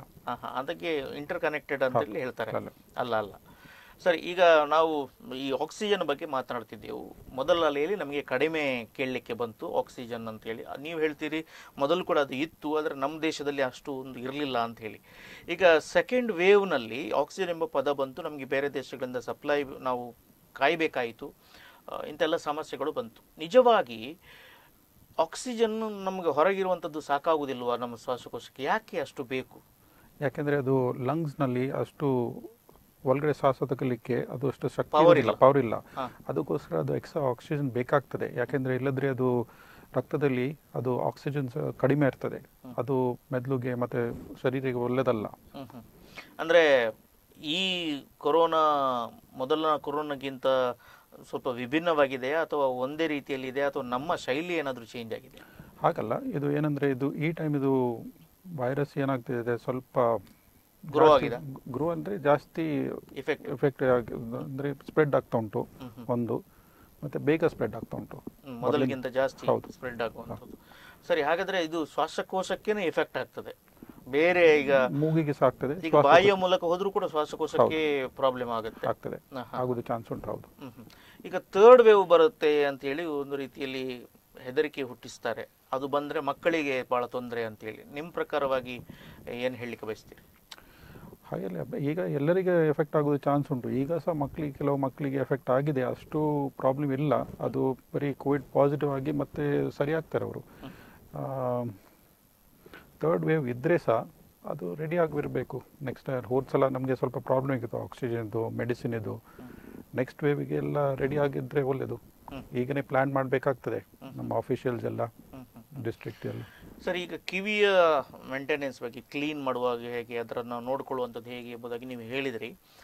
ಮೂಗಿನ ಸ್ವಚ್ಛತೆ, ನಾವು ಬಾಯಿಯ ಸ್ವಚ್ಛತೆ ಬಗ್ಗೆ ತುಂಬ ಮಾತಾಡ್ತೇವೆ. ಹಲ್ಲುಜ್ಜುವಂಥದ್ದು ಅಥವಾ ಗಗಲ್ ಮಾಡುವಂಥದ್ದು, ಇದರ ಬಗ್ಗೆ ಎಲ್ಲ ಮಾತನಾಡ್ಕೊಳ್ತೇವೆ. ಮೂಗಿನ ಸ್ವಚ್ಛತೆ ಎಂಬುದಾಗಿ ಉಂಟ ಏನಾದರೂ? ಹಾಗೇನಿಲ್ಲ ಬರೀ ಕೆಲವರಿಗೆ ಏನಾಗ್ತದೆ ಅಂತ ಪದೇ ಪದೇ ಇದು ಶೀತ ಆಗೋದು, ಮತ್ತು ಇದು ಇನ್ಫೆಕ್ಷನ್ ಆಗೋದು ಚಾನ್ಸ್ ಉಂಟು. ಅವರಿಗೆ ನಾವು ಹೇಳ್ತೀವಿ, ಇದು ಗಂಟ್ಲಿಗೆ ಹೇಗೆ ನಾವು ಉಪ್ಪು ನೀರಲ್ಲಿ ಗಾರ್ಗಲ್ ಮಾಡ್ಲಿಕ್ಕೆ ಹೇಳ್ತೀವಿ. ಹಾಗೆ ಒಂದು ಸದನ ಉಪ್ಪು ನೀರ್ದು ಇದು ಬರ್ತದೆ. ಅದನ್ನು ವಾಶ್ ಮಾಡಿ ಜಲನೀತಿ ಥರ ಯೂಸ್ ಮಾಡಲಿಕ್ಕೆ ನಾವು ಹೇಳ್ತೀವಿ. ಅದರಲ್ಲಿ ಆಗೋದು ಚಾನ್ಸ್ ಕಡಿಮೆ. ಆಗೋದಿಲ್ಲ ಅಂತಲ್ಲ. ಕಡಿಮೆ. ಈಗ ಯೋಗಕ್ಕೂ ಮತ್ತು ಇದಕ್ಕೆ ಏನಾದ್ರು ಸಂಬಂಧ ಉಂಟು? ಅಲು ಅನುಲೋಮ ವಿಲೋಮ ಮಾಡಿದ್ರೆ ಮಾಡಿದ್ರೆ ಒಳ್ಳೆದು. ಮಾಡಿದ್ರೆ? ಒಳ್ಳೇದು. ಅಂದ್ರೆ ಅದರಲ್ಲಿ ಬ್ರೀದಿಂಗ್ ಹ್ಮ್ ಲಂಗ್ಸ್ ಏನಾದ್ರು ಲಂಗ್ಸ್ಗೆ ಮೂಗುಗೆ ಎರಡು ಎರಡು ಈಗ ಕೆಲವರಿಗೆ ಸ್ವರ ಇಲ್ಲ ಸರ್. ಒಂದು ತಾವು ಪ್ರೊಫೆಸರ್ ಈ ಟೀಚಿಂಗ್ಗೆ ಹೋಗುವವರಿಗೆ ಅಥವಾ ಉದ್ಘೋಷರಿಗೆ ಅಥವಾ ನಮ್ಮಂತೆ ಆ್ಯಂಕರ್ಗಳಿಗೆ ಈ ಮಾತು ಎಂಬುದು ಬೇಕಾಗತ್ತೆ. ಎಲ್ಲರಿಗೂ ಬೇಕಾಗತ್ತೆ. ಯಾವ ರೀತಿಯಲ್ಲಿ ಮಾಡಿರ್ಬೋದು ಒಂದು ಕರೆ ಕರೆಯನ್ನು ತೆಗೆದುಕೊಳ್ತೇನೆ. ಮತ್ತೆ ಪ್ರಶ್ನೆಗೆ ಬರ್ತೇನೆ. ತಾರನಾಥ್ ಕರೆ ಮಾಡ್ತಾ ಇದ್ದಾರೆ. ಹಲೋ ಹಲೋ ಹಲೋ ಹೇಳಿ. ಸರ್ ಈಗ ಅವ್ರನ್ನ ಕ್ವಶನ್ ಕೇಳಬೇಕಿತ್ತು. ಹಾ ಕೇಳಿ. ಅದು ಏನಂತ ಹೇಳಿ ಈ ವೇಪರ್ ತಗೋತೀವಲ್ಲ ನಾವು? Vapours vapour vapour. ವೇಪರ್ ತಗೊಳ್ತೀವಲ್ಲ ಆವಿ ತಗೊಳ್ತೀವಲ್ಲ? ಅದೀಗ ನಾವು ಡೈಲಿ ತಗೊಳ್ಬೋ ಅವಶ್ಯಕತೆ ಇದೆಯಾ ಅಲ್ಲ ವಾರಕ್ಕೆ ಒಂದೆರಡು ಸಲ ತಗೊಳ್ಳೋದು ಅವಶ್ಯಕತೆ ಇದೆಯಾ ಅಂತ? ಸರಿ ಸರಿ. ಡಾಕ್ಟರ್ ಹೇಳ್ತಾರೆ. ಡಾಕ್ಟರ್ ಹೇಳ್ತಾರೆ ತಾರನಾಥ್ ಕೇಳಿ. ಈ ಸಲ ಆಕ್ಚುಲಿ ನಾವು ಹೇಳ್ತಾ ಇದೀವಿ ಯಾಕಂದ್ರೆ ಆಲ್ರೆಡಿ ಇಂದ ಅದು ಮೂಗುದು ಚರ್ಮ ಎಲ್ಲ ಒಳಗಡೆ ಮ್ಯೂಕೋಸ್ ಎಲ್ಲ ಸರಿ ಹೇಳ್ತಾ ಉಂಟು ಅವ್ರು ಮಾತಾಡೋದು? ಅವರು ಈಗ ಅನ್ಮ್ಯೂಟ್ ಮಾಡ್ಬೇಕಾ? ಆ ನೀನು ಕರೆ ಕಟ್ ಮಾಡ್ತೇನೆ ಟಿವಿಯಲ್ಲಿ ಕೇಳಿ. ನಿಮ್ಮ ಪ್ರಶ್ನೆ ಇತ್ತು ಈ ಸ್ಟೀಮ್ ಅನ್ನ ಡೈಲಿ ತೆಗೆದುಕೊಳ್ಬೇಕಾ ಅಥವಾ ವಾರಕ್ಕೆ ಒಮ್ಮೆ ತೆಗೆದುಕೊಳ್ಬೇಕಾ ಎಂಬುದಾಗಿ. ಈಗಲೇ ವೈದ್ಯರು ಅದರ ಬಗ್ಗೆ ಸ್ಪಷ್ಟಪಡಿಸಿದ್ದಾರೆ ಆದರೆ ನಿಮಗೋಸ್ಕರ ಮತ್ತೆ ಅವರು ಹೇಳ್ತಿದ್ದಾರೆ. ಸರ್. ಅದು ಕೋವಿಡ್ ಟೈಮ್ನಲ್ಲಿ ಏನಾಗ್ತದೆ? ಮೂಗುವುದು ಚರ್ಮ ಒಳಗಡೆ ಮ್ಯೂಕೋಸಾಗೆ ಸ್ವಲ್ಪ ಎಫೆಕ್ಟ್ ಇರ್ತದೆ ಕೋವಿಡಿಂದ ಕೊರೋನಾಯಿಂದ ಅದರಿಂದ ಈ ಸ್ಟೀಮ್ ತಗೊಳ್ಳುವಾಗ ಅದು ಬಿಸಿ ಸ್ಟೀಮ್ ಅದು ಇನ್ನೂ ಸ್ವಲ್ಪ ಪ್ರಾಬ್ಲಮ್ ಆಗ್ತದೆ. ಅದು ಸ್ವಲ್ಪ ಗಾಯ ಥರ ಆಗಿ ಮತ್ತು ಬೇರೆ ಇನ್ಫೆಕ್ಷನ್ ಎಲ್ಲ ಆಗೋದು ಚಾನ್ಸ್ ಉಂಟು. ಅದಕ್ಕೋಸ್ಕರ ಈ ಸಲ ಎಲ್ಲ ವೈದ್ಯರು ಹೇಳ್ತಾ ಇದ್ದಾರೆ ಅದು ಸ್ಟೀಮ್ ತಗೊಳ್ಳೋದು ಒಳ್ಳೆಯದಲ್ಲ ಈ ಟೈಮ್ನಲ್ಲಿ ಅವಾಯ್ಡ್ ಮಾಡೋದು ಒಳ್ಳೆಯದು ತೆಗೆದುಕೊಳ್ಳೇಬಾರದು. ಹಾಂ. ಸರಿ. ಸರ್. ನಾವು ಬ್ರೇಕಿಗೆ ಹೋಗುವ ಮೊದಲು ನಾವು ಕೇಳಿದ ಪ್ರಶ್ನೆ ಇತ್ತು ವಾಯ್ಸನ್ನು ಹೇಗೆ ಮೇಂಟೈನ್ ಮಾಡೋದು ಯಾವ ರೀತಿಯಲ್ಲಿ ಮಾಡಬೇಕು ಅದು ಅದಕ್ಕೆ ಸ್ಟ್ರೆಸ್ ಯಾವಾಗ ಬೀಳ್ತದೆ? ಸ್ಟ್ರೆಸ್ ಅಂದರೆ ಜಾಸ್ತಿ ಜೋರಾಗಿ ಮಾತಾಡಿದರೆ ಜಾಸ್ತಿ ವಾಯ್ಸ್ ಎಫೆಕ್ಟ್ ಆಗೋದು ಟೀಚರ್ಸಿಗೆ ಪೊಲಿಟಿಷಿಯನ್ಸಿಗೆ ಮತ್ತು ಸಿಂಗರ್ಸಿಗೆ ಜಾಸ್ತಿ. ಮತ್ತು ಜೋ, ಮತ್ತು ಯಾರು ಜೋರಾಗಿ ಮಾತಾಡ್ತಾರೆ, ಕೆಲವರು ಕಂಡಕ್ಟರ್ಸ್ ಬಸ್ನಲ್ಲಿ ಜೋರಾಗಿ ಮಾತಾಡೋ ಅಬ್ಯೂಸ್ ಮಾಡಿದ್ದಾರೆ ಅದಕ್ಕೆ ವಾಯ್ಸ್ ಅಬ್ಯೂಸ್ ಅಂತ ಹೇಳ್ತೀವಿ. ಜೋರಾಗಿ ಮಾತಾಡೋದು ಇಲ್ಲ ಸಣ್ಣ ಸದಲ್ಲಿ ಹಾಗೆ ಮಾತಾಡೋದು ವಿಸ್ಪರಿಂಗ್ ಅಂತ ಹೇಳ್ತೀವಿ. ಅದು ಸಹ ಒಳ್ಳೇದಲ್ಲ ವಾಯ್ಸಿಗೆ ನಾವೀಗ ಇದು ಮಾತಾಡ ಮೆಲ್ಲ ಮಾತಾಡಿದ್ರು ಕೂಡ ಒಳ್ಳೇದಲ್ಲ ಒಳ್ಳೇದಲ್ಲ. ನಾರ್ಮಲ್ ಆಗಿ ನಾರ್ಮಲ್ ಆಗಿ ಮಾತಾಡಬೇಕು. ಜೋರಾಗಿ ಮಾತಾಡಬಾರ್ದು ಸಣ್ಣ ಸ್ವರದಲ್ಲಿ ಸಹ ಮಾತಾಡಬಾರ್ದು. ಮತ್ತು ಕೆಲವರು ಇದು ಮಿಮಿಕ್ರಿ ಎಲ್ಲ ಮಾಡ್ತಾರಲ್ಲ ಅದು ಸಹ ಒಳ್ಳೇದಲ್ಲ ಧ್ವನಿ ಕೋಶಕ್ಕೆ. ತೊಂದರೆ ಆಗುತ್ತೆ. ಹೌದು. ಏನು ಮಾಡಿದ್ರೆ ಒಳ್ಳೇದು? ನಾರ್ಮಲ್ ಆಗಿ ಮಾತಾಡಬೇಕು. ಮತ್ತು ಜೋ ಜಾಸ್ತಿ ಮಾತಾಡಬಾರ್ದು.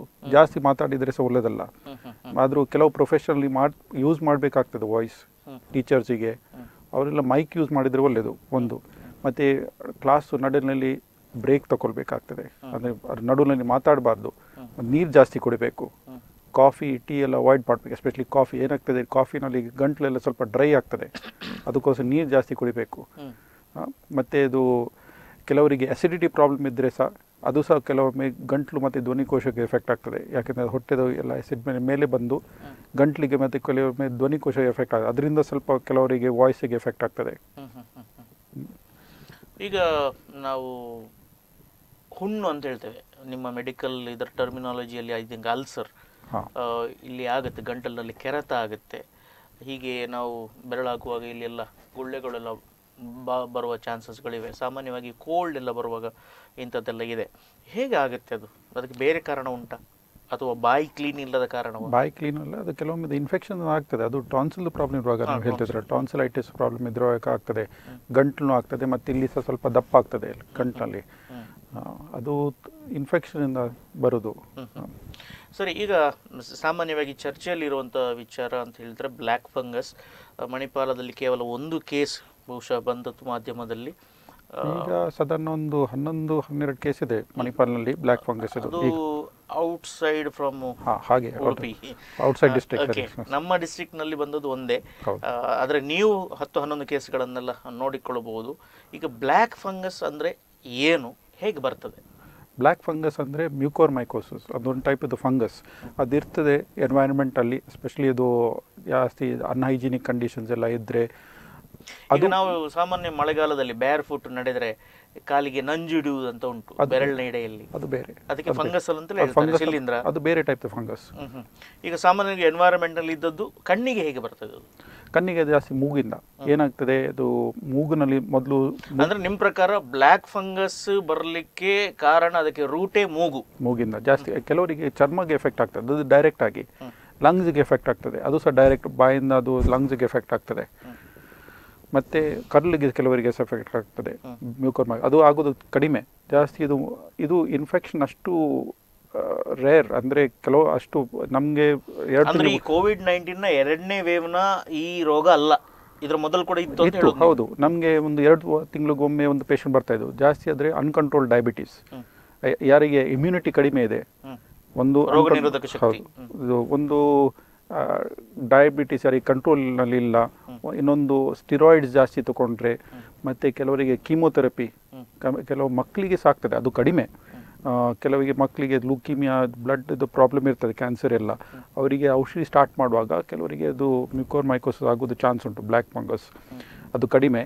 ಜಾಸ್ತಿ ಆಗೋದು ಇದು ಅಡಲ್ಟ್ಸಿಗೆ ಇದು ಯಾರಿಗೆ ಅದು ಕಂಟ್ರೋಲ್ನಲ್ಲಿಲ್ಲ ಡಯಾಬಿಟಿಸ್ ಅವರಿಗೆ ಜಾಸ್ತಿ ಆಗೋದು. ಅದು ಇತ್ತು ಮೊದಲು ಸಹ ಇತ್ತು. ಅದಕ್ಕೋಸ್ಕರ ಈ ಕಾ ಈ ಕಾಯಿಲೆಗೆ ಇದು ಜಾಸ್ತಿ ಡ್ರಗ್ಸ್ ಮ್ಯಾನುಫ್ಯಾಕ್ಚರ್ ಮಾಡ್ತಾ ಇರಲಿಲ್ಲ. ಈಗ ಸ್ವಲ್ಪ ಶಾರ್ಟೇಜ್ ಆಗಿದೆ ಡ್ರಗ್ಸ್ ಇದು. ಇದು ಬ್ಲ್ಯಾಕ್ ಫಂಗಸ್ ಯಾಕೆಂದ್ರೆ ವಯಲ್ ಅಂದರೆ ಅದು ಸಣ್ಣ ಟ್ಯೂಬ್ ಅಷ್ಟೇ. ಆಂಫೋಟ್ರೆಸಿನ್ ಅಂತ. ಅದು ಮ್ಯಾನುಫ್ಯಾಕ್ಚರ್ ಅಷ್ಟು ಮಾಡ್ತಾ ಇರಲಿಲ್ಲ. ಯಾಕಂದ್ರೆ ಅದು ಉಲ್ಬಣಗೊಳ್ಳಿಲ್ಲ. ಹಾಂ ಎರಡು ನಮಗೆ ಸಹ ಎರಡು ತಿಂಗಳಿಗೊಮ್ಮೆ ಪೇಷಂಟ್ ಬರ್ತಾ ಇದ್ರು ಹೀಗೆ. ಹಾ. ಸರಿ ಅದು ಏನಂದ್ರೆ- ಬ್ಲ್ಯಾಕ್ ಫಂಗಸ್ ಅಂತ ಯಾಕೆ ಹೆಸರು? ಅದು ಕಲ್ಲರಿಗೆ ಕಲ್ಲರಿಗೆ. ಯಾಕೆಂದರೆ ಮೂಗು ಒಳಗಡೆ ನೋಡುವಾಗ ಅದು ಏನಾಗ್ತದೆ? ಈ ಫಂಗಸ್ನಲ್ಲಿ ಏನಾಗ್ತದೆ? ಅದು ಟಿಶ್ಯೂ ಒಳಗಡೆ ಹೋಗಿ ಮತ್ತು ರಕ್ತನಾಳಿಗೆ ಎಫೆಕ್ಟ್ ಆಗ್ತದೆ. ರಕ್ತನಾಳಿಗೆ ಒಂದು ಸಲ ಎಫೆಕ್ಟ್ ಆದರೆ ಅದು ಪೂರ್ತಿ ಕಪ್ಪಾಗ್ತದೆ ಅಂದರೆ ಡೆಡ್ ಟಿಶ್ಯೂ ಥರ ಅದೇ ಅದಕ್ಕೋಸ್ಕರ ನಾವು ಮೊದಲು ಈ ಕಾಯಿಲೆಗೆ ಆಪ್ರೇಷನ್ ಮಾಡಿ ಅದು ಡೆಲ್ಲ ಡೆಡ್ ಟಿಶ್ಯೂ ತೆಗಿಬೇಕಾಗ್ತದೆ. ಇಲ್ಲದ್ರೆ ಅದು ಔಷಧಿ ಸಹ ಒಳಗಡೆ ಹೋಗೋದಿಲ್ಲ. ಅದು ಮೂಗಿಂದ ಮತ್ತೆ ಕಣ್ಣಿಗೆ ಎಫೆಕ್ಟ್ ಆಗೋದು. ಮತ್ತು ಅದರಿಂದ ಕೆಲವೊಮ್ಮೆ ಮೆದ್ಲುಗೆ ಹೋಗ್ತದೆ. ಸಹ ಎಫೆಕ್ಟ್ ಆಗೋದು ಚಾನ್ಸ್ ಉಂಟು. ಇದಕ್ಕೋಸ್ಕರ ಹೇಳುದು rhino orbit cerebral mucormycosis rhino ಅಂದರೆ ಮೂಗು ಆರ್ಬೈಟಲ್ ಅಂದ್ರೆ ಕಣ್ಣು ಸೆರೆಬ್ರಲ್ ಅಂದರೆ ಮೆದ್ಲು ಈ ಟರ್ಮ್ ಮೊದಲು ಸಹ ಇತ್ತು. ಆದರೂ ಇಷ್ಟು ಇರಲಿಲ್ಲ ಪ್ರಾಬ್ಲಮ್ ಸರಿ ನಾವು ಈಗ ಪ್ರಿಕಾಷನ್ಸ್ ಹೇಗೆ ತೆಗೆದುಕೊಳ್ಬೇಕು ಯಾವ ರೀತಿಯ ಮುಂಜಾಗ್ರತಾ ಕ್ರಮವನ್ನು ಒಂದು ನಾನು ಆಲ್ರೆಡಿ ಹೇಳಿದ್ದೀನಿ ಮಾಸ್ಕ್ ಬಗ್ಗೆ. ಇನ್ನೊಂದು ಅದು ಸ್ಟೀಮ್ ಎಲ್ಲ ಅವಾಯ್ಡ್ ಮಾಡಬೇಕು. ಮೂರನೇ ಹೈಜಿನಿಕ್ ಕಂಡೀಷನ್ಸ್ ಎಲ್ಲ ಇರಬೇಕು ಮನೆ ಹತ್ರ ಎಲ್ಲ. ಗಾರ್ಬೇಜ್ ಎಲ್ಲ ಓಪನ್ ಇರಬಾರ್ದು ದಿವಸಾಗಲೂ ಡಿಸ್ಪೋಸ್ ಮಾಡಬೇಕು. ಮತ್ತು ಡಯಾಬಿಟಿಸ್ ಇದ್ದರೆ ಡಯಾಬಿಟಿಸ್ ಕಂಟ್ರೋಲ್ ಮಾಡಬೇಕು. ಪದೇ ಪದೇ ಚೆಕ್ ಮಾಡಿ. ಯಾಕೆಂದರೆ ಕೆಲವೊಮ್ಮೆ ಕೋವಿಡ್ ಆದ ನಂತರ ಕೆಲವೊಂದು ಡಯಾಬಿಟಿಸ್ ಇನ್ನೂ ಪ್ರಾಬ್ಲಮ್ ಆಗ್ತದೆ ಅವರಿಗೆ. ಯಾಕೆಂದರೆ ಅವ್ರದ್ದು ಈಗ ಸ್ಟೀರಾಯ್ಡ್ ಸ್ಟಿಕಾಯ್ಡ್ ಸ್ಟಿರಾಯ್ಡ್ ತಗೊಂಡ ನಂತರ ಇಲ್ಲದ್ರೆ ಕೋವಿಡಿಂದ ಸಹ ಆಗ್ತದೆ. ಅದು ವೈರಸ್ಸಿಂದ ಎರಡೂ ಸಹ. ಅದು ಎಷ್ಟು ಇಫೆಕ್ಟಿವ್ ದೃಷ್ಟಿ ಹೋಗುತ್ತಾ ಅದರಲ್ಲಿ?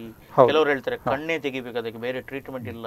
ಆ ರೀತಿಯಲ್ಲಿ ಏನಾದ್ರು? ಬರೀ ಮೂಗಿನಲ್ಲಿ ಇದ್ರೆ ಅದು ಆ ಜಾಗ ಮಾತ್ರ ತೆಗಿತೀವಿ. ಏನಾದರೆ ಅದು ಕೆಲವೊಮ್ಮೆ ಕಣ್ಣಿಗೆ ಎಫೆಕ್ಟ್ ಆದರೆ ಬರೀ ಕಣ್ಣಿದ ಬದಿ ಅಂದರೆ ಬರೀ ಆ ಜಾಗ ತೆಗಿತೀವಿ. ಆದರೂ ಕೆಲವರಿಗೆ ಏನಾಗ್ತದೆ ದೃಷ್ಟಿ ಕಡಿಮೆ ಆಗ್ತದೆ ಕಣ್ಣು ಅಲ್ಲಾಡಿಸ್ಲಿಕ್ಕೆ ಆಗೋದಿಲ್ಲ. ಅದರಿಂದ ಆ ಕಣ್ಣು ಪ್ರಯೋಜನ ಇಲ್ಲ ಒಂದು. ಇನ್ನೊಂದು ಅದು ಫಂಗಸ್ ಆ ಜಾಗದಲ್ಲಿ ಇದ್ದರೆ ಅದು ಔಷಧ ಒಳಗಡೆ ಹೋಗುವುದಿಲ್ಲ ಮತ್ತು ಅಲ್ಲಿಂದ ಬೇರೆ ಕಡೆ ಸ್ಪ್ರೆಡ್ ಆಗ್ತದೆ. ಅದಕ್ಕೋಸ್ಕರ ಅದು ಸಹ ತೆಗಿಬೇಕಾಗ್ತದೆ. ಕೆಲವೊಮ್ಮೆ ಮಾತ್ರ. ನಾವು ಏನು ಮಾಡ್ತೀವಿ ಎರಡು ಕಣ್ಣಿನ ಡಾಕ್ಟರ್ ನೋಡ್ತಾರೆ ಮತ್ತು ಹೇಳಬೇಕು ಇದು ಕಣ್ಣಿನ ದೃಷ್ಟಿ ಏನು ಮಾಡ್ಲಿಕ್ಕೆ ಆಗೋದಿಲ್ಲ ಅದ ನಂತರನೇ ಆಪರೇಷನ್ ಮಾಡಿ ತೆಗೆಯೋದು. ಅದು ಆಗೋದು ಚಾನ್ಸ್ ಕಡಿಮೆ ಆದರೂ ಮಾಡಬೇಕಾಗ್ತದೆ ಕೆಲವೊಮ್ಮೆ ಕೆಲವೊಮ್ಮೆ ಮಾತ್ರ. ಜಾಸ್ತಿ ಅಂದರೆ ಅದು ಮೂಗಿಗೆ ಎಫೆಕ್ಟ್ ಆಗೋದು. ಸರ್ ಈಗ ಡೆಂಟಿಸ್ಟ್ ಹೇಳ್ತಾರೆ ನಾವು ಎರಡು ಸರಿ ಬ್ರಷ್ ಮಾಡಬೇಕು ಮಾರ್ನಿಂಗ್ ಮತ್ತು evening before the bed after you rising from the bed. ಆದರೆ ಕೆಲವರು ಹೇಳ್ತಾರೆ, ಸಾಮಾನ್ಯವಾಗಿ ಈ ಮನೆ ಮದ್ದು ಎಲ್ಲ ಮಾಡುವವರು, ಬೆಳಗ್ಗೆ ಎದ್ಕೊಂಡು ನಾವು ನೀರು ಕುಡಿಬೇಕು, ನಮ್ಮ ಬಾಯಿಯೊಳಗಿನ ಸಲಹೆಯು ಒಳಗೆ ಹೋಗಬೇಕು ಅಂತೇಳಿ. ನೀವೇನು ಹೇಳ್ತೀರಿ? ಎರಡು ಸಹ ಒಂದೇ, ಸಾಧಾರಣ ಒಂದೇ. ಬ್ರಷ್ ಮಾಡಿದರೆ ಅದು ಕ್ಲೀನ್, ಅದು ಹೈಜೀನ್ ಒಂದು. ಯಾಕೆಂದರೆ ಅದು ಡೆಂಟಲ್ ಇನ್ಫೆಕ್ಷನಿಂದ ಪೆರಿಡಾಂಟೈಟಿಸ್ ಅಂತ ಹೇಳ್ತೇವೆ, ಅದು ಬೇರೆ ಬೇರೆ ಕಾಯಿಲೆ ಆಗ್ತದೆ ಅದರಿಂದ. ಅದು ಒಂದು ಕ್ಲೀನ್ ಆಗ್ತದೆ. ನೀರು ಕುಡಿದ್ರೆ ಸಹ ಒಂದು. ಸೇಮ್ ಆಲ್ಮೋಸ್ಟ್ ಅಂದ್ರೆ ಅದ ನಂತರ ಬ್ರಷ್ ಮಾಡಿದರೆ ಏನು ವ್ಯತ್ಯಾಸ ಏನಿಲ್ಲ ಜಾಸ್ತಿ ವ್ಯತ್ಯಾಸ ಇಲ್ಲ. ಅಂದ್ರೆ ಎದ್ದ ಕೂಡಲೇ ನೀರು ಕುಡಿದ್ರೆ ಸಲಹೆ ಒಳಗೆ ಹೋಗುತ್ತೆ ಅದು ಕೆಟ್ಟದ್ದು ಇದಾಗದಿಲ್ವಾ? ಅದೇನು ತೊಂದರೆ ಇಲ್ಲ. ತೊಂದರೆ ಇಲ್ಲ. ಸರಿ ಒಂದು ಕರೆ ಇದೆ. ಕೇಶವ್ ಮಂಗಳೂರಿನಿಂದ. ಹಲೋ? ಹಲೋ? ಹಲೋ. ಹಲೋ ಮಾತನಾಡಿ ಸರ್. ಹಲೋ. ಹೇಳಿ. ನಾವು ಮಂಗಳೂರಿಂದ ಕೇಶವ ಅಂತೇಳಿ ನಾನು ಕ್ವಾರಂಟೈನ್ ಅಲ್ಲಿ ಇದ್ದೇನೆ ಹದಿನಾಲ್ಕು ದಿವಸ ಸರ್. ನನಗೆ ನನಗೊಂದು ಪರಿಮಳ ಬರುದಿಲ್ಲ ಮತ್ತೆ ಸ್ಮೆಲ್ ಇದೆಲ್ಲ ಗೊತ್ತಾಗುಲ್ಲ ಅದೇ ಅಷ್ಟೇ. ಅಲ್ಲ ಕ್ವಾರಂಟೈನ್ ಅಂತ ಹೇಳಿದ್ರೆ ನೀವು ಟ್ರಾವೆಲ್ ಮಾಡಿ ಬಂದವರ? ಅಲ್ಲ ಅಲ್ಲ ಅಲ್ಲ ನಾವು ಮಂಗಳೂರಿನವರೇ ಆಕ್ಚುಲಿ ಈಗ ಹದಿನಾಲ್ಕು ದಿವಸ ಆಯ್ತು ಕ್ವಾರಂಟೈನ್ ಅಲ್ಲಿ ಇದ್ದೇನೆ. ಕೋವಿಡ್ ಪಾಸಿಟಿವ್ ಆಗಿದ್ರಲ್ಲ? ಅಲ್ಲ ನೀವು ಕೋವಿಡ್ ಪಾಸಿಟಿವ್ ಆಗಿದ್ದೀರಾ? ಹೌದು ಪಾಸಿಟಿವ್ ಆಗಿದ್ದೆ ಪಾಸಿಟಿವ್ ಆಗಿ ಕ್ವಾರಂಟೈನ್ ಸರಿ ವೈದ್ಯರು ಮಾತಾಡ್ತಾರೆ ಕೇಳಿ. ಅದಕ್ಕೆ ಐಸೋಲೇಷನ್ ಅಂತ ಹೇಳ್ತೀವಿ. ಕ್ವಾರಂಟೈನ್ ಅಂದ್ರೆ ಯಾರಿಗೆ ಕೇಳ್ತದವರ ಅವರ ಮಾತು? ಇಲ್ಲ ಕೇಳುದಿಲ್ಲ. ಓಕೆ ಸರಿ ಮಾತಾಡ್ತಾರೆ ಅವರು. ನೀವು ಟಿವಿಯಲ್ಲಿ ನೋಡಿ. ಕೋವಿಡ್ ಆದ ನಂತರ ಮನೇಲಿ ಇರೋದು ಅದು ಜಾಸ್ತಿ ಐಸೋಲೇಷನ್ ಅಂತ ಹೇಳ್ತೀವಿ. ಕ್ವಾರಂಟೈನ್ ಅಂದ್ರೆ ಯಾರು ಬರ್ತಾರೆ ಡೌಟ್ ಇದ್ರೆ ಅವರನ್ನು ಕ್ವಾರಂಟೈನ್ ಮಾಡೋದು. ಏನೊಂದು ಈ ಇವರು ಪಾಸಿಟಿವ್ ಆದವರು. ಪಾಸಿಟಿವ್ ಆದ ಅದು ಅದು ಐಸೋಲೇಷನ್ ಆ್ಯಕ್ಚುಲಿ ಫಸ್ಟ್ ವೇವ್ನಲ್ಲಿ ಸಹ ಮೇನ್ ಕೆಲವರಿಗೆ ಗೊತ್ತಾಗಿತ್ತು ಅವರಿಗೆ ಕೋವಿಡ್ ಬಂದಿದೆ ಅಂತ ಕೊರೋನಾ ಆಗಿದೆ ಅಂತ ಅದು ಸ್ಮೆಲ್ ಹೋಗಿದೆ. ಅವರು ಸ್ಮೆಲ್ ಸೆನ್ಸೇಷನ್ ಅಂತ ಹೋಗಿದೆ. ಏನು ಗೊತ್ತಾಗೋದಿಲ್ಲ ಅವರಿಗೆ. ಅದು ಪರಿಮಳ ಗೊತ್ತಾಗುದಿಲ್ಲ ಗೊತ್ತಾಗೋದಿಲ್ಲ. ಪರಿಮಳ ಗೊತ್ತಾಗೋದಿಲ್ಲ. ಟೇಸ್ಟ್ ಅದು ಟೇಸ್ಟ್ ಸಹ ಹೋಗ್ತದೆ ಕೆಲವರಿಗೆ ಒಟ್ಟಿಗೆ. ಏನಾಗ್ತದೆ ಅದು ಕೆ ಈ ಬೇರೆ ಕಾಯಿಲೆ ಅಂದ್ರೆ ಬೇರೆ ವೈರಸ್ ಇದ್ರೆ ಅದು ವಾಪಸ್ ಬರಲಿಕ್ಕೆ ಮೂರ್ನಾಲ್ಕು ವರ್ಷ ಆಗ್ತದೆ ಕೆಲವರಿಗೆ ಬರುವುದಿಲ್ಲ ಕೊರೋನಾ ಆದ ನಂತರ ಕೆಲವರಿಗೆ ಮೂರ್ನಾಲ್ಕು ವಾರ ವಾರ ನಂತರ ಕೆಲವರಿಗೆ ಎರಡು ತಿಂಗಳ ನಂತರ ಅದು ವಾಪಸ್ ಬರ್ತದೆ. ಆದರೂ ಕೆಲವರಿಗೆ ಅದು ವಾಪಸ್ ಬಂದ ನಂತರ ಕೆಲವು ಮೂರು ವಾರ ಇಲ್ಲದ್ರೆ ಒಂದು ತಿಂಗಳು ಮೂರು ತಿಂಗಳು ಬಿಟ್ಟು ಅದು ಸ್ಮೆಲ್ ಸ್ವಲ್ಪ ಚೇಂಜ್ ಆಗ್ತದೆ. ಅದು ಊಟದು ಎಲ್ಲ ಪರಿಮಳ ಎಲ್ಲ ಗೊತ್ತಾಗೋದಿಲ್ಲ. ಅದು ಕೆಟ್ಟ ಸ್ಮೆಲ್ ಥರ ಬರ್ತದೆ. ಅದು ಸಹ ಆಗೋದು ಚಾನ್ಸ್ ಉಂಟು ಕೆಲವರಿಗೆ. ಅದು ಕೊರೋನಾದ ನಂತರ ಯಾರಿಗೆ ಸ್ಮೆಲ್ ಹೋಗಿದೆ ಅಂತ ಅವರಿಗೆ ಅದು ಮೋಸ್ಟ್ಲಿ ವಾಪಸ್ ಬರ್ತದೆ ಅದು. ಸದ್ಯಕ್ಕೆ ಮೊದಲು ನಾವು ಮೂಗುಗೆ ಸ್ಪ್ರೇ ಸ್ಟಿರಾಯ್ಡ್ ಸ್ಪ್ರೇ ಎಲ್ಲ ಕೊಡ್ತಾ ಇದ್ವಿ. ಈಗ ಕೊಡೋದಿಲ್ಲ. ಇದು ಬ್ಲ್ಯಾಕ್ ಫಂಗಸ್ ಸ್ಟಾರ್ಟ್ ಆದ ನಂತರ ಬರೀ ಮೂಗು ವಾಶ್ ಮಾಡಲಿಕ್ಕೆ ಮತ್ತೆ ಏನು ಮಾಡ್ತೀವಿ ನಾವು ಅವರಿಗೆ ಹೇಳ್ತೀವಿ ಒಂದು ಎಕ್ಸಸೈಸ್ ಥರ ಮೂಗುಗೆ. ಡೈಲಿದು ಏನು ನೀವು ಸ್ಮೆಲ್ ಮಾಡ್ತೀರಾ? ಕಾಫಿದು ಕೈನಲ್ಲಿ ಸ್ವಲ್ಪ ಹಾಕಿ ಸ್ಮೆಲ್ ಮಾಡಿ. ಅದು ಒಂದು ಎಕ್ಸಸೈಸ್ ಥರ ಮೂಗುದು ಆ ಜಾಗಕ್ಕೆ. ಮೂಗಿಗೂ ಕೂಡ ಎಕ್ಸರ್ಸೈಸ್ ಉಂಟಂತ ಮೂಗು ಮೂಗಿಗೆ ಅಂದರೆ ಅದು ಗೊತ್ತಾಗ್ಲಿಕ್ಕೆ. ಅದು ಸ್ಮೆಲ್ ಬೇರೆ ಸ್ಮೆಲ್ ನೋಡ್ತಾ ಇರಬೇಕು. ಗೊತ್ತ ಗೊತ್ತು ಅವರಿಗೆ ಅದು ಎಕ್ಸಸೈಸ್ ಅಲ್ಲ. ಎಕ್ಸಸೈಸ್ ಥರನೇ ಅದು. ಎಕ್ಸ್ಪೆರಿಮೆಂಟ್ ಅಲ್ಲ. ಅದು ಒಂದು ಮಾಡ್ತಾ ಮಾಡ್ತಾ ಕೆಲವರಿಗೆ ಅದು ಇಂಪ್ರೂವ್ ಆಗ್ತದೆ. ಯಾಕೆಂದರೆ ಅದು ಮೊದಲಿದು ಸ್ಮೆಲ್ ಎಲ್ಲ ಗೊತ್ತಾಗಬೇಕು. ಅದಕ್ಕೋಸ್ಕರ ಅದು ಮಾಡೋದು. ಮತ್ತೆ ಕೆಲವರು ವೈಟಮಿನ್ಸ್ ಕೊಡ್ತಾರೆ. ಇದು ಅದರಿಂದ ಅದು ಮೋಸ್ಟ್ಲಿ ಅದು ವಾಪಸ್ ಬರ್ತದೆ ಅದು ಸ್ಮೆಲ್ ಸೊ ಟೈಮ್ ಆಗ್ತದೆ. ಹೆದರಬೇಕಾಗಿಲ್ಲ ಆ, ಮತ್ತೆ ವಾಪಸ್ಗೆ ಬರ್ತಾರೆ. ಮತ್ತೆ ವಾಪಸ್ ಸಹಜ ಸ್ಥಿತಿಗೆ ನಮ್ಮ ದೇಶವೂ ಬರ್ತದೆ ನಮ್ಮ ಊರು ಬರ್- ಬರ್ತದೆ ನಿಮ್ಮ ಟೇಸ್ಟ್ ಮತ್ತು ಸ್ಮೆಲ್ ಕೂಡ ಬರ್ತದೆ. ವಿಲ್ ಪವರ್ ಸ್ಟ್ರಾಂಗ್ ಆಗಿರಬೇಕು. ಸರಿ ವೈದ್ಯರೆ ಈಗ ಬೈ ಬರ್ತ್ ಕೆಲವರಿಗೆ ದೃಷ್ಟಿ ಕಡಿಮೆ ಇರುತ್ತೆ. ಬೈ ಬರ್ತ್ ಕೆಲವರಿಗೆ ಕಿವಿ ಕೇಳೋದು ಕಡಿಮೆ ಇರ್ತದೆ. ಹಾಗೆ ಬೈ ಬರ್ತ್ ಸ್ಮೆಲ್ ಸೆನ್ಸೇಷನ್ ಎಂಬುದು ವೇರಿಯೇಷನ್ ಇರುತ್ತಾ? ಎಲ್ಲರಿಗೂ ಒಂದೇ ರೀತಿಯಲ್ಲಿ ಇರುತ್ತೆ? ಇಲ್ಲ ಕೆಲವರಿಗೆ ಇರುವುದಿಲ್ಲ. ಸ್ಮೆಲ್ ಸೆನ್ಸೇಷನ್ ಇರುವುದಿಲ್ಲ. ಅದು ಆಗೋದು ಚಾನ್ಸ್ ತುಂಬ ಕಡಿಮೆ. ಯಾಕೆಂದರೆ ಅದು ನರದ ಪ್ರಾಬ್ಲಮ್ ಇರ್ತದೆ. ಅದರಿಂದ ಅದು ಸ್ಮೆಲ್ದು ನರ ಉಂಟು ಮೆದ್ಲಿಗೆ ಹೋಗೋದು, ಅದು ಮೂಗು ಒಳಗಡೆ ಇರೋದು, ಅದು ಸ್ವಲ್ಪ ಪ್ರಾಬ್ಲಮ್ ಇದ್ದರೆ ಕೆಲವರಿಗೆ ಸ್ಮೆಲ್ ಗೊತ್ತಾಗೋದಿಲ್ಲ. ಈಗ ಕೆಲವರಿಗೆ ಡಸ್ಟ್ ಎಲರ್ಜಿ ಇರ್ತದೆ, ಗುಡಿಸುವಾಗ ಸೀನು ಬರುವುದುಂಟು, ಕೆಲವರಿಗೆ ಚಾಕ್ ಎಲರ್ಜಿ ಇದೆ, ಕೆಲವರಿಗೆ ಕೆಲವು ಹೂಗಳ ಎಲರ್ಜಿ ಇರ್ತದೆ. ಕೆಲವರಿಗೆ ಬೇರೆ ಪದಾರ್ಥಗಳು, ಈಗ ಮೆಣಸು ಏನಾದರೂ ಇದು ಮಾಡುವಾಗ ಅದರ ಎಲರ್ಜಿ ಇರ್ತದೆ. ಈ ಎಲರ್ಜಿ ಎಂಬುದು ಸಾಮಾನ್ಯವ ಅಥವಾ ಕೆಲವರಿಗೆ ಅದು ಎಲರ್ಜಿಯೇ ಜಾಸ್ತಿಯಾಗಿ ಏನಾದರೂ ಬ್ಲ್ಯಾಕ್ ಫಂಗಸ್ ಬರುವಂಥ ಸಾಧ್ಯತೆ ಇದೆ. ಮಳೆಗಾಲ ಬರುವಾಗ ಬೇರೆ ಬೇರೆ ಹೂಗಳು ಬಿಡ್ತವೆ. ಇದರಿಂದ ಸೀನು ಬಂದು ಬಂದು ಬಂದು ಏನಾದರೂ? ಅಲ್ಲ ಅದರಿಂದ ಆಗೋದಿಲ್ಲ. ಬ್ಲ್ಯಾಕ್ ಫಂಗಸ್ ಅದರಿಂದ ಎಲರ್ಜಿ ಇರುವಾಗ ಆಗೋದಿಲ್ಲ. ಅದೊಂದು ಬೇರೆ ಟೈಪ್ ಇದು ಫಂಗಲ್ ಇನ್ಫೆಕ್ಷನ್ ಆಗ್ತದೆ. ಅದರಿಂದ ಜಾಸ್ತಿ ಪ್ರಾಬ್ಲಮ್ ಆಗೋದಿಲ್ಲ. ನಾವು ಎಲರ್ಜಿಕ್ ಫಂಗಲ್ ಸೈನಸೈಟಿಸ್ ಅಂತ ಹೇಳ್ತೀವಿ. ಅದರಿಂದ ಅಷ್ಟು ಪ್ರಾಬ್ಲಮ್ ಇರುವುದಿಲ್ಲ ಬ್ಲ್ಯಾಕ್ ಫಂಗಸ್ ಎಲರ್ಜಿ ಇರೋ ಇದ್ದರೆ ಹಾಗೆ ಆಗೋದಿಲ್ಲ. ಬೇರೆ ಪ್ರಾಬ್ಲಮ್ ಇಮ್ಯುನಿಟಿ ಕಡಿಮೆ ಇದ್ದರೆ ಆಗೋದು ಜಾಸ್ತಿ. ಸಾಮಾನ್ಯವಾಗಿ ಈ ಮೂಗು ಗಂಟಲು ಕಿವಿ ಅಂತ ಹೇಳುವಾಗ ಮನೆಯಲ್ಲಿ ಸೆಲ್ಫ್ ಮೆಡಿಕೇಶನ್ ಮಾಡ್ತಾರೆ. ನಾವು ಸಣ್ಣದಿರುವಾಗ ಕಿವಿ ನೋವು ಅಂತ ಹೇಳಿದ್ರೆ ಅಜ್ಜಿಯವರು ಕುದಿಸಿದ ಎಣ್ಣೆ ಬಿಡುವುದುಂಟು. ಅಥವಾ ಗಂಟಲು ಕೆರೆತ ಅಂತ ಹೇಳುವಾಗ ಅದಕ್ಕೆ ಉಪ್ಪು ನೀರು ಮಾಡಿ ಗಗಲ್ ಮಾಡುವಂಥದ್ದುಂಟು. ಅಥವಾ ಮೂಗಿನ ಬಗ್ಗೆ ನೋಡ್ಕೊಳ್ಳುವಂಥದ್ದುಂಟು. ಈ ಅಂದರೆ ಈಗ ವಿಕ್ಸ್ ಹಚ್ಚುವುದು ಮತ್ತು ಇಂಥದ್ದೆಲ್ಲ ಇದೆ. ಪ್ರೊಡಕ್ಷನ್ಗಳು ಸಬ್ಸ್ಟಿಟ್ಯೂಟ್ಗಳು ಅಮೃತಾಂಜನೆಲ್ಲ ಇದು ಎಷ್ಟು ಸಹಜ ಮತ್ತು ಸರಿ? ಅದು ಏನಂದರೆ, ಗಂಟ್ಲಿಗೆ ಇದು ಉಪ್ಪು ನೀರು ಗಾರ್ಗಲ್ ಮಾಡಿದರೆ ತೊಂದರೆ ಇಲ್ಲ ಅದು. ಆ್ಯಕ್ಚುಲಿ ಗಂಟ್ಲಿಗೆ ಒಳ್ಳೆಯದು ಬೇರೆ ಎಲ್ಲ ಸೆಲ್ಫ್ ಮೆಡಿಕೇಶನ್ ಮಾಡೋದು ಒಳ್ಳೆಯದಲ್ಲ ಈಗ ಸಹ ಕೆಲವು ಪ್ರಾಬ್ಲಮ್ ಆಗೋದು, ಜಾಸ್ತಿ ಔಷಧಿ ಕೊಟ್ಟರೆ ಸಹ ಪ್ರಾಬ್ಲಮ್ ಆಗ್ತದೆ. ಯಾಕೆಂದರೆ ನೋವಿದು ಮಾತ್ರೆ ಕೊಟ್ಟು ತೊಗೊಂಡ್ರೆ ಅದು ಆ್ಯಕ್ಚುಲಿ ಕಿಡ್ನಿಗೆ ಒಳ್ಳೆಯದಲ್ಲ ಆ್ಯಂಟಿಬಯೋಟಿಕ್ಸ್ ತೊಗೊಂಡ್ರೆ ಸಹ ಇನ್ಫೆಕ್ಷನ್ ಇದ್ದರೆ ತೊಂದರೆ ಇಲ್ಲ. ಇನ್ಫೆಕ್ಷನ್ ಡೌಟ್ ಇದ್ದರೆ ನಾನು ತಗೊಳ್ತೀನಿ ಫಾರ್ಮಸಿಗೆ ಹೋಗಿ ತಗೊ ಸ್ವಲ್ಪ ಆ್ಯಂಟಿಬಯೋಟಿಕ್ಸ್ ಕೊಡಿ ಅಂತ ಹೇಳಿದರೆ ಏನಾಗ್ತದೆ ಅದು ನಮ್ಮ ಗಂಟ್ಲಲ್ಲಿ, ಮೂಗಿನಲ್ಲಿ, ದೇಹದಲ್ಲಿ ಇದು ನಾರ್ಮಲ್ ಬ್ಯಾಕ್ಟೀರಿಯಾ ಇರ್ತದೆ. ಕಲ್ಲಲ್ಲಿ ಸಹ. ಅದು ಸತ್ತು ಹೋಗ್ತದೆ. ಮತ್ತು ಆ್ಯಕ್ಚುಲಿ ಅದು ಒಳ್ಳೆಯದು ಗಂಡ ನಮ್ಮ ಶರೀರಕ್ಕೆ ಒಳ್ಳೆಯದು ಅದಕ್ಕೆ ಎಫೆಕ್ಟ್ ಆದರೆ ಸಹ ನಮ್ಮದು ಇಮ್ಯುನಿಟಿ ಕಡಿಮೆ ಆಗ್ತದೆ ಆ ಜಾಗದಲ್ಲಿ. ಮತ್ತು ಇದು ಬರೀ ಇದು ಆ್ಯಂಟಿಬಯೋಟಿಕ್ಸ್ ಅಲ್ಲ ಆ್ಯಂಟಿ ಫಂಗಲ್ ಯಾವುದು ಔಷಧಿ ವಿದೌಟ್ ಪ್ರಿಸ್ಕ್ರಿಪ್ಷನ್ ವಿದೌಟ್ ಇದು ಆ್ಯಕ್ಚುಲ್ ಪ್ರಾಬ್ಲಮ್ ತಗೊಳ್ಬಾರ್ದು. ಒಂದು ಕರೆ ಇದೆ ತೆಗೆದುಕೊಳ್ಳುವ ಹಲೋ ಹಲೋ ಹಲೋ ಹೇಳಿ ಸರ್ ವಿದ್ಯಾನಂದ್ ಅಂತ ಸರ್ ಮಾತಾಡೋದು. ಎಲ್ಲಿಂದ? ನಾವು ಉಡುಪಿಯಿಂದ. ಹಾ ಹೇಳಿ. ನಾವಿದು ಇದು ನಮ್ದು ವೈಫಿಗೆ ಸ್ವಲ್ಪ ಅಲರ್ಜಿ ಪ್ರಾಬ್ಲಮ್ ಉಂಟು. ಡಸ್ಟ್ ಆದ್ರೆ ಸೀನ್ ಬರುದು ಅದರಿಂದ ತುಂಬಾ ಟೈಮ್ ಇಂದ. ಹಾಂ ಎಷ್ಟು ಪ್ರಾಯ ನಿಮಗೆ? ನನ್ಗಲ್ಲ ನನ್ನ ವೈಫಿಗೆ ಎಷ್ಟು ಏಜ್ ಅವರದು? ತರ್ಟಿ ಸಿಕ್ಸ್ ಎಷ್ಟು ವರ್ಷದಿಂದ ಆ, ಇದು ಅಲರ್ಜಿ ಉಂಟು? ಮೊದ್ಲ ಅಂದ್ರೆ ಒಂದು ಎರಡ್ ಮೂರು ವರ್ಷ ಉಂಟು ಸ್ವಲ್ಪ ಸ್ವಲ್ಪ ಉಂಟು. ಈಗ ಮೆಡಿಸಿನ್ ಮಾಡ್ತಿದ್ದೇವೆ ಹೋಮಿಯೋಪತಿ ಮಾಡ್ತಾ ಉಂಟು. ಹಾ ಹಾ. ಸರಿ ವೈದ್ಯರು ಹೇಳ್ತಾರೆ ನೋಡಿ ಸರ್ ಓಕೆ ಅವ್ರಿಗೆ ಏನಂದ್ರೆ ಜಾಸ್ತಿ ನಾವು ಔಷಧಿ ಕೊಟ್ಟು ನೋಡ್ತೀವಿ. ಅದು ಸಣ್ಣ ಸ್ವಲ್ಪ ಸ್ವಲ್ಪ ಟೈಮಿಂದ ಇದ್ರೆ ಮಾತ್ರ ಮೂರ್ನಾಲ್ಕು ತಿಂಗಳಿಂದ. ಅದರಿಂದ ಜಾಸ್ತಿ ಅಂದ್ರೆ ನಾವು ಏನು ಮಾಡ್ತೀವಿ? ಒಂದು ಅಲರ್ಜಿ ಟೆಸ್ಟ್ ಅಂತ ಮಾಡ್ತೀವಿ. ಯಾವ್ದು ಕಾರಣದಿಂದ ಇರ್ಬೋದು. ಕೆಲವೊಮ್ಮೆ ಗೊತ್ತಾಗ್ತದೆ ಯಾವ ಕಾರಣದಿಂದ ಆಗ್ತದೆ ಅಂತ. ಯಾವುದು ಊಟದ ಪದಾರ್ಥ ಇಲ್ಲದ್ರೆ ಹೊರಗಡೆದು ಹೂವಿಂದ ಇಲ್ಲದ್ರೆ ಫಂಗಸ್ಸಿಂದ ಇಲ್ಲದ್ರೆ ಬೇರೆ ಕಾರಣದಿಂದ ಕೆಲವು ಅವ್ರದ್ದು ಡಸ್ಟ್ ಡಸ್ಟ್ ಅವ್ರು ಕೆಲವರು ಹೇಳ್ತಾರೆ ಡಸ್ಟ್ ಅಂತ. ಅದು ಹೇಗೆ ಆ್ಯಕ್ಚುಲಿ ರಿಯಲ್ ಕಾಸ್ ಗೊತ್ತಿಲ್ಲ. ರಿಯಲ್ ಆಕ್ಚುಲಿ ಡಸ್ಟ್ ಇರುವುದಿಲ್ಲ ಅದು. ಡಸ್ಟ್ ಪ್ರಾಬ್ಲಮ್ ಅಲ್ಲ. ಅದು ಹೌಸ್ ಡಸ್ಟ್ ಮೈಟ್ ಅಂತ ಹೇಳ್ತೀವಿ. ಅದು ಸಣ್ಣ ಇದು ಇರ್ತದೆ ಮನೆಯಲ್ಲಿ. ಅದರಿಂದ ಜಾಸ್ತಿ ಅದರಿಂದ ಆಗೋದು. ಹೌಸ್ ಡಸ್ಟ್ ಮೈಟ್ ಅಂತ. ಮತ್ತೆ ಅದು ಬೇರೆ ಬೇರೆ ಕಾರಣದಿಂದ ಬೇರೆ ಡಸ್ಟ್ ಇರ್ತದೆ ವೀಟ್ ಡಸ್ಟ್ ಇರ್ತದೆ ಅದರಿಂದ ಸಹ ಆಗ್ತದೆ. ಅದು ಟೆಸ್ಟ್ ಮಾಡಿ ನೋಡಬೇಕಾಗ್ತದೆ ಕೆಲವರಿಗೆ ಗೊತ್ತಾಗ್ತದೆ ಇದು ಯಾವುದರಿಂದ ಆಗ್ತದೆ ಆಗಿದೆ ಅಂತ. ಅದನ್ನು ಅವಾಯ್ಡ್ ಮಾಡಿದರೆ ಇದು ಎಲರ್ಜಿ ಸಹ ಕಡಿಮೆ ಆಗ್ತದೆ. ಕೆಲವರಿಗೆ ಅವಾಯ್ಡ್ ಮಾಡಲಿಕ್ಕೆ ಕಷ್ಟ ಆಗ್ತದೆ ಅವರಿಗೆಲ್ಲ ಔಷಧಿ ಕೊಡಬೇಕಾಗ್ತದೆ. ಮತ್ತು ಅದರಲ್ಲಿ ಕಡಿಮೆ ಆಗಿದ್ರೆ ಮತ್ತೆ ನಾವು ಒಂದು ಟ್ರೀಟ್ಮೆಂಟ್ ಅಂತ ಡಿಸೆನ್ಸಿಟೈಸೇಷನ್ ಅಂತ ಅದೇ ಎಲರ್ಜಿದು ಇಂಜೆಕ್ಷನ್ ಕೊಟ್ಟು ಕಡಿಮೆ ಮಾಡಲಿಕ್ಕೆ ಟ್ರೈ ಮಾಡ್ತೀವಿ.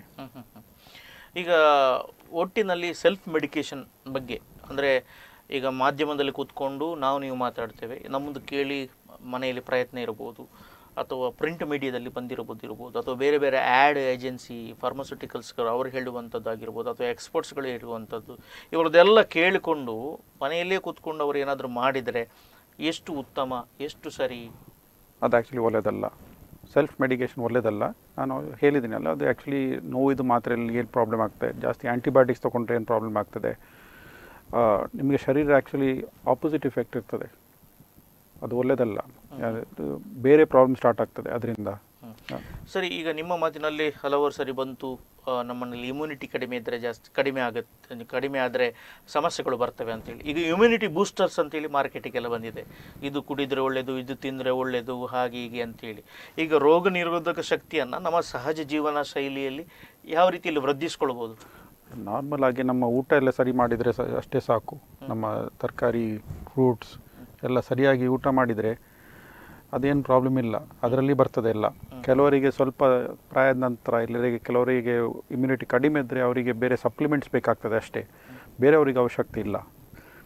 ಕೆಲವರಿಗೆ ಕೆಲವರು ಹೇಳ್ತಾರೆ ಸೂಪ್ ತಗೊಳ್ಳಿ ಮೊಟ್ಟೆ ತಗೊಳ್ಳಿ ಅದೆಲ್ಲ if you are a vegetarian how you can follow that you can you can follow ಬೇರೆ ಇದು ಇರ್ತದೆ. ವೆಜಿಟೇರಿಯನ್ನಲ್ಲಿ ಯಾವುದರಲ್ಲಿ ಜಾಸ್ತಿ ವಿಟಮಿನ್ಸ್ ಇದೆ ಕ್ಯಾರೆಟ್ನಲ್ಲಿ ವೈಟಮಿನ್ ಎ ಇದೆ ಗ್ರೀನ್ ಲೀಫಿ ವೆಜಿಟೇಬಲ್ಸ್ ಇದೆ. ಅದರಲ್ಲಿ ಸಹ ಇದು ದೇಹ ಇದು ಶರೀರ ಒಳ್ಳೆಯದು. ಅಂದ್ರೆ ಸ್ಪೆಷಲ್ ಆಗಿ ಇಮ್ಯುನಿಟಿ ಬೂಸ್ಟರ್ಸ್ಗಳನ್ನ ತೆಗೆದುಕೊಳ್ಬೇಕಾಗಿಲ್ಲ. ಅಷ್ಟು ಅವಶ್ಯಕತೆ ಇಲ್ಲ. ಹಾಂ. ಯಾಕೆಂದರೆ ಅದರಲ್ಲಿ ಎಷ್ಟು ಪ್ರಯೋಜನ ಆಗ್ತದೆ ಹೇಳಲಿಕ್ಕಾಗೋದಿಲ್ಲ ಕೆಲವರಿಗೆ ಏನಾಗ್ತದೆ ಬೇರೆ ಪ್ರಾಬ್ಲಮ್ ಇರ್ತದೆ ಇಮ್ಯುನಿಟಿ ಕಡಿಮೆ ಇರ್ತದೆ ಅವರಿಗೆ ಆಂಟಿಬಯೋಟಿಕ್ಸ್ ತೊಗೊಳ್ತಾ ಇದ್ದಾರೆ ಅವರಿಗೆಲ್ಲ ಕೆಲವೊಮ್ಮೆ ಸಪ್ಲಿಮೆಂಟ್ಸ್ ವೈಟಮಿನ್ ಸಪ್ಲಿಮೆಂಟ್ಸ್ ಬೇಕಾಗ್ತದೆ. ಪ್ರಾಯದ ನಂತರ ಪ್ರಾಯದ ನಂತರ ಕೆಲವರಿಗೆ ಕ್ಯಾಲ್ಸಿಯಂ ಬೇಕಾಗ್ತದೆ ಕೆಲವರಿಗೆ ಬೇರೆ ವೈಟಮಿನ್ಸ್ ಬೇಕಾಗ್ತದೆ. ಸರಿ ಈ ನಮ್ಮ ಕೊನೆಯ ಹಂತದಲ್ಲಿ ನಮ್ಮ ವೀಕ್ಷಕರಿಗೆ ಏನು ಹೇಳಿಕೆ ಬಯಸ್ತೀರಿ? ಈ ಟೈಮ್ನಲ್ಲಿ ಆ್ಯಕ್ಚುಲಿ ಕೊರೋನಾ ಟೈಮ್ನಲ್ಲಿ ಆದಷ್ಟು ಸೋಷಿಯಲ್ ಡಿಸ್ಟೆನ್ಸಿಂಗ್ ಒಂದು, ಅದು ಎಲ್ಲರೂ ಹೇಳ್ತಾರೆ. ಆದರೂ ಇನ್ನೊಂದು ಸಲ ಹೇಳ್ತಾ ಇದ್ದೀನಿ. ಮತ್ತು ಮಾಸ್ಕ್ ಸರಿಯಾಗಿ ಹಾಕಬೇಕು. ಯಾಕೆಂದರೆ ಬರೀ ನಿಮಗೆ ಅಲ್ಲ, ಬೇರೆಯವ್ರಿಗೆ ಸಹ ಎಫೆಕ್ಟ್ ಆಗುತ್ತೆ. ನಿಮಗೆ ಸ್ವಲ್ಪ ಕೊರೋನಾ ಆದರೆ ಸಹ ಜಾಸ್ತಿ ಪ್ರಾಬ್ಲಮ್ ಇರಲಿಕ್ಕಿಲ್ಲ. ಅದು ಬೇರೆಯವ್ರಿಗೆ ಪ್ರಾಬ್ಲಮ್ ಪ್ರಾಯದವರಿಗೆ, ಬೇರೆಯವರಿಗೆ ಕ್ಯಾನ್ಸರ್ ಪೇಷಂಟ್ಸಿಗೆ ಅವರಿಗೆ ಎಫೆಕ್ಟ್ ಆದರೆ ಮತ್ತೆ ತುಂಬ ಪ್ರಾಬ್ಲಮ್ ಆಗ್ತದೆ ಮನೆಯಲ್ಲಿ. ಬೇರೆ ಮನೆ ಪಕ್ಕದಲ್ಲಿ ಅವರು, ಅವರಿಗೆ. ಮತ್ತು ಇನ್ನೊಂದು ಮಾಸ್ಕ್ ಸರಿಯಾಗಿ ಮತ್ತು ಯೂಸ್ ಜಾಸ್ತಿ ಯೂಸ್ ಮಾಡಬೇಡಿ. ಮತ್ತು ಸೆಲ್ಫ್ ಮೆಡಿಕೇಟ್ ಮಾಡಬೇಡಿ. ಏನು ಪ್ರಾಬ್ಲಮ್ ಇದ್ದರೆ ನಿಮ್ಮ ಹತ್ತಿರ ಡಾಕ್ಟ್ರ್ ಹತ್ರ ಹೋಗಿ ಮಾತಾಡಿ. ಏ, ಅವ್ರೇನು ಹೇಳ್ತಾರೆ ಅಂತ ನೋಡಿ.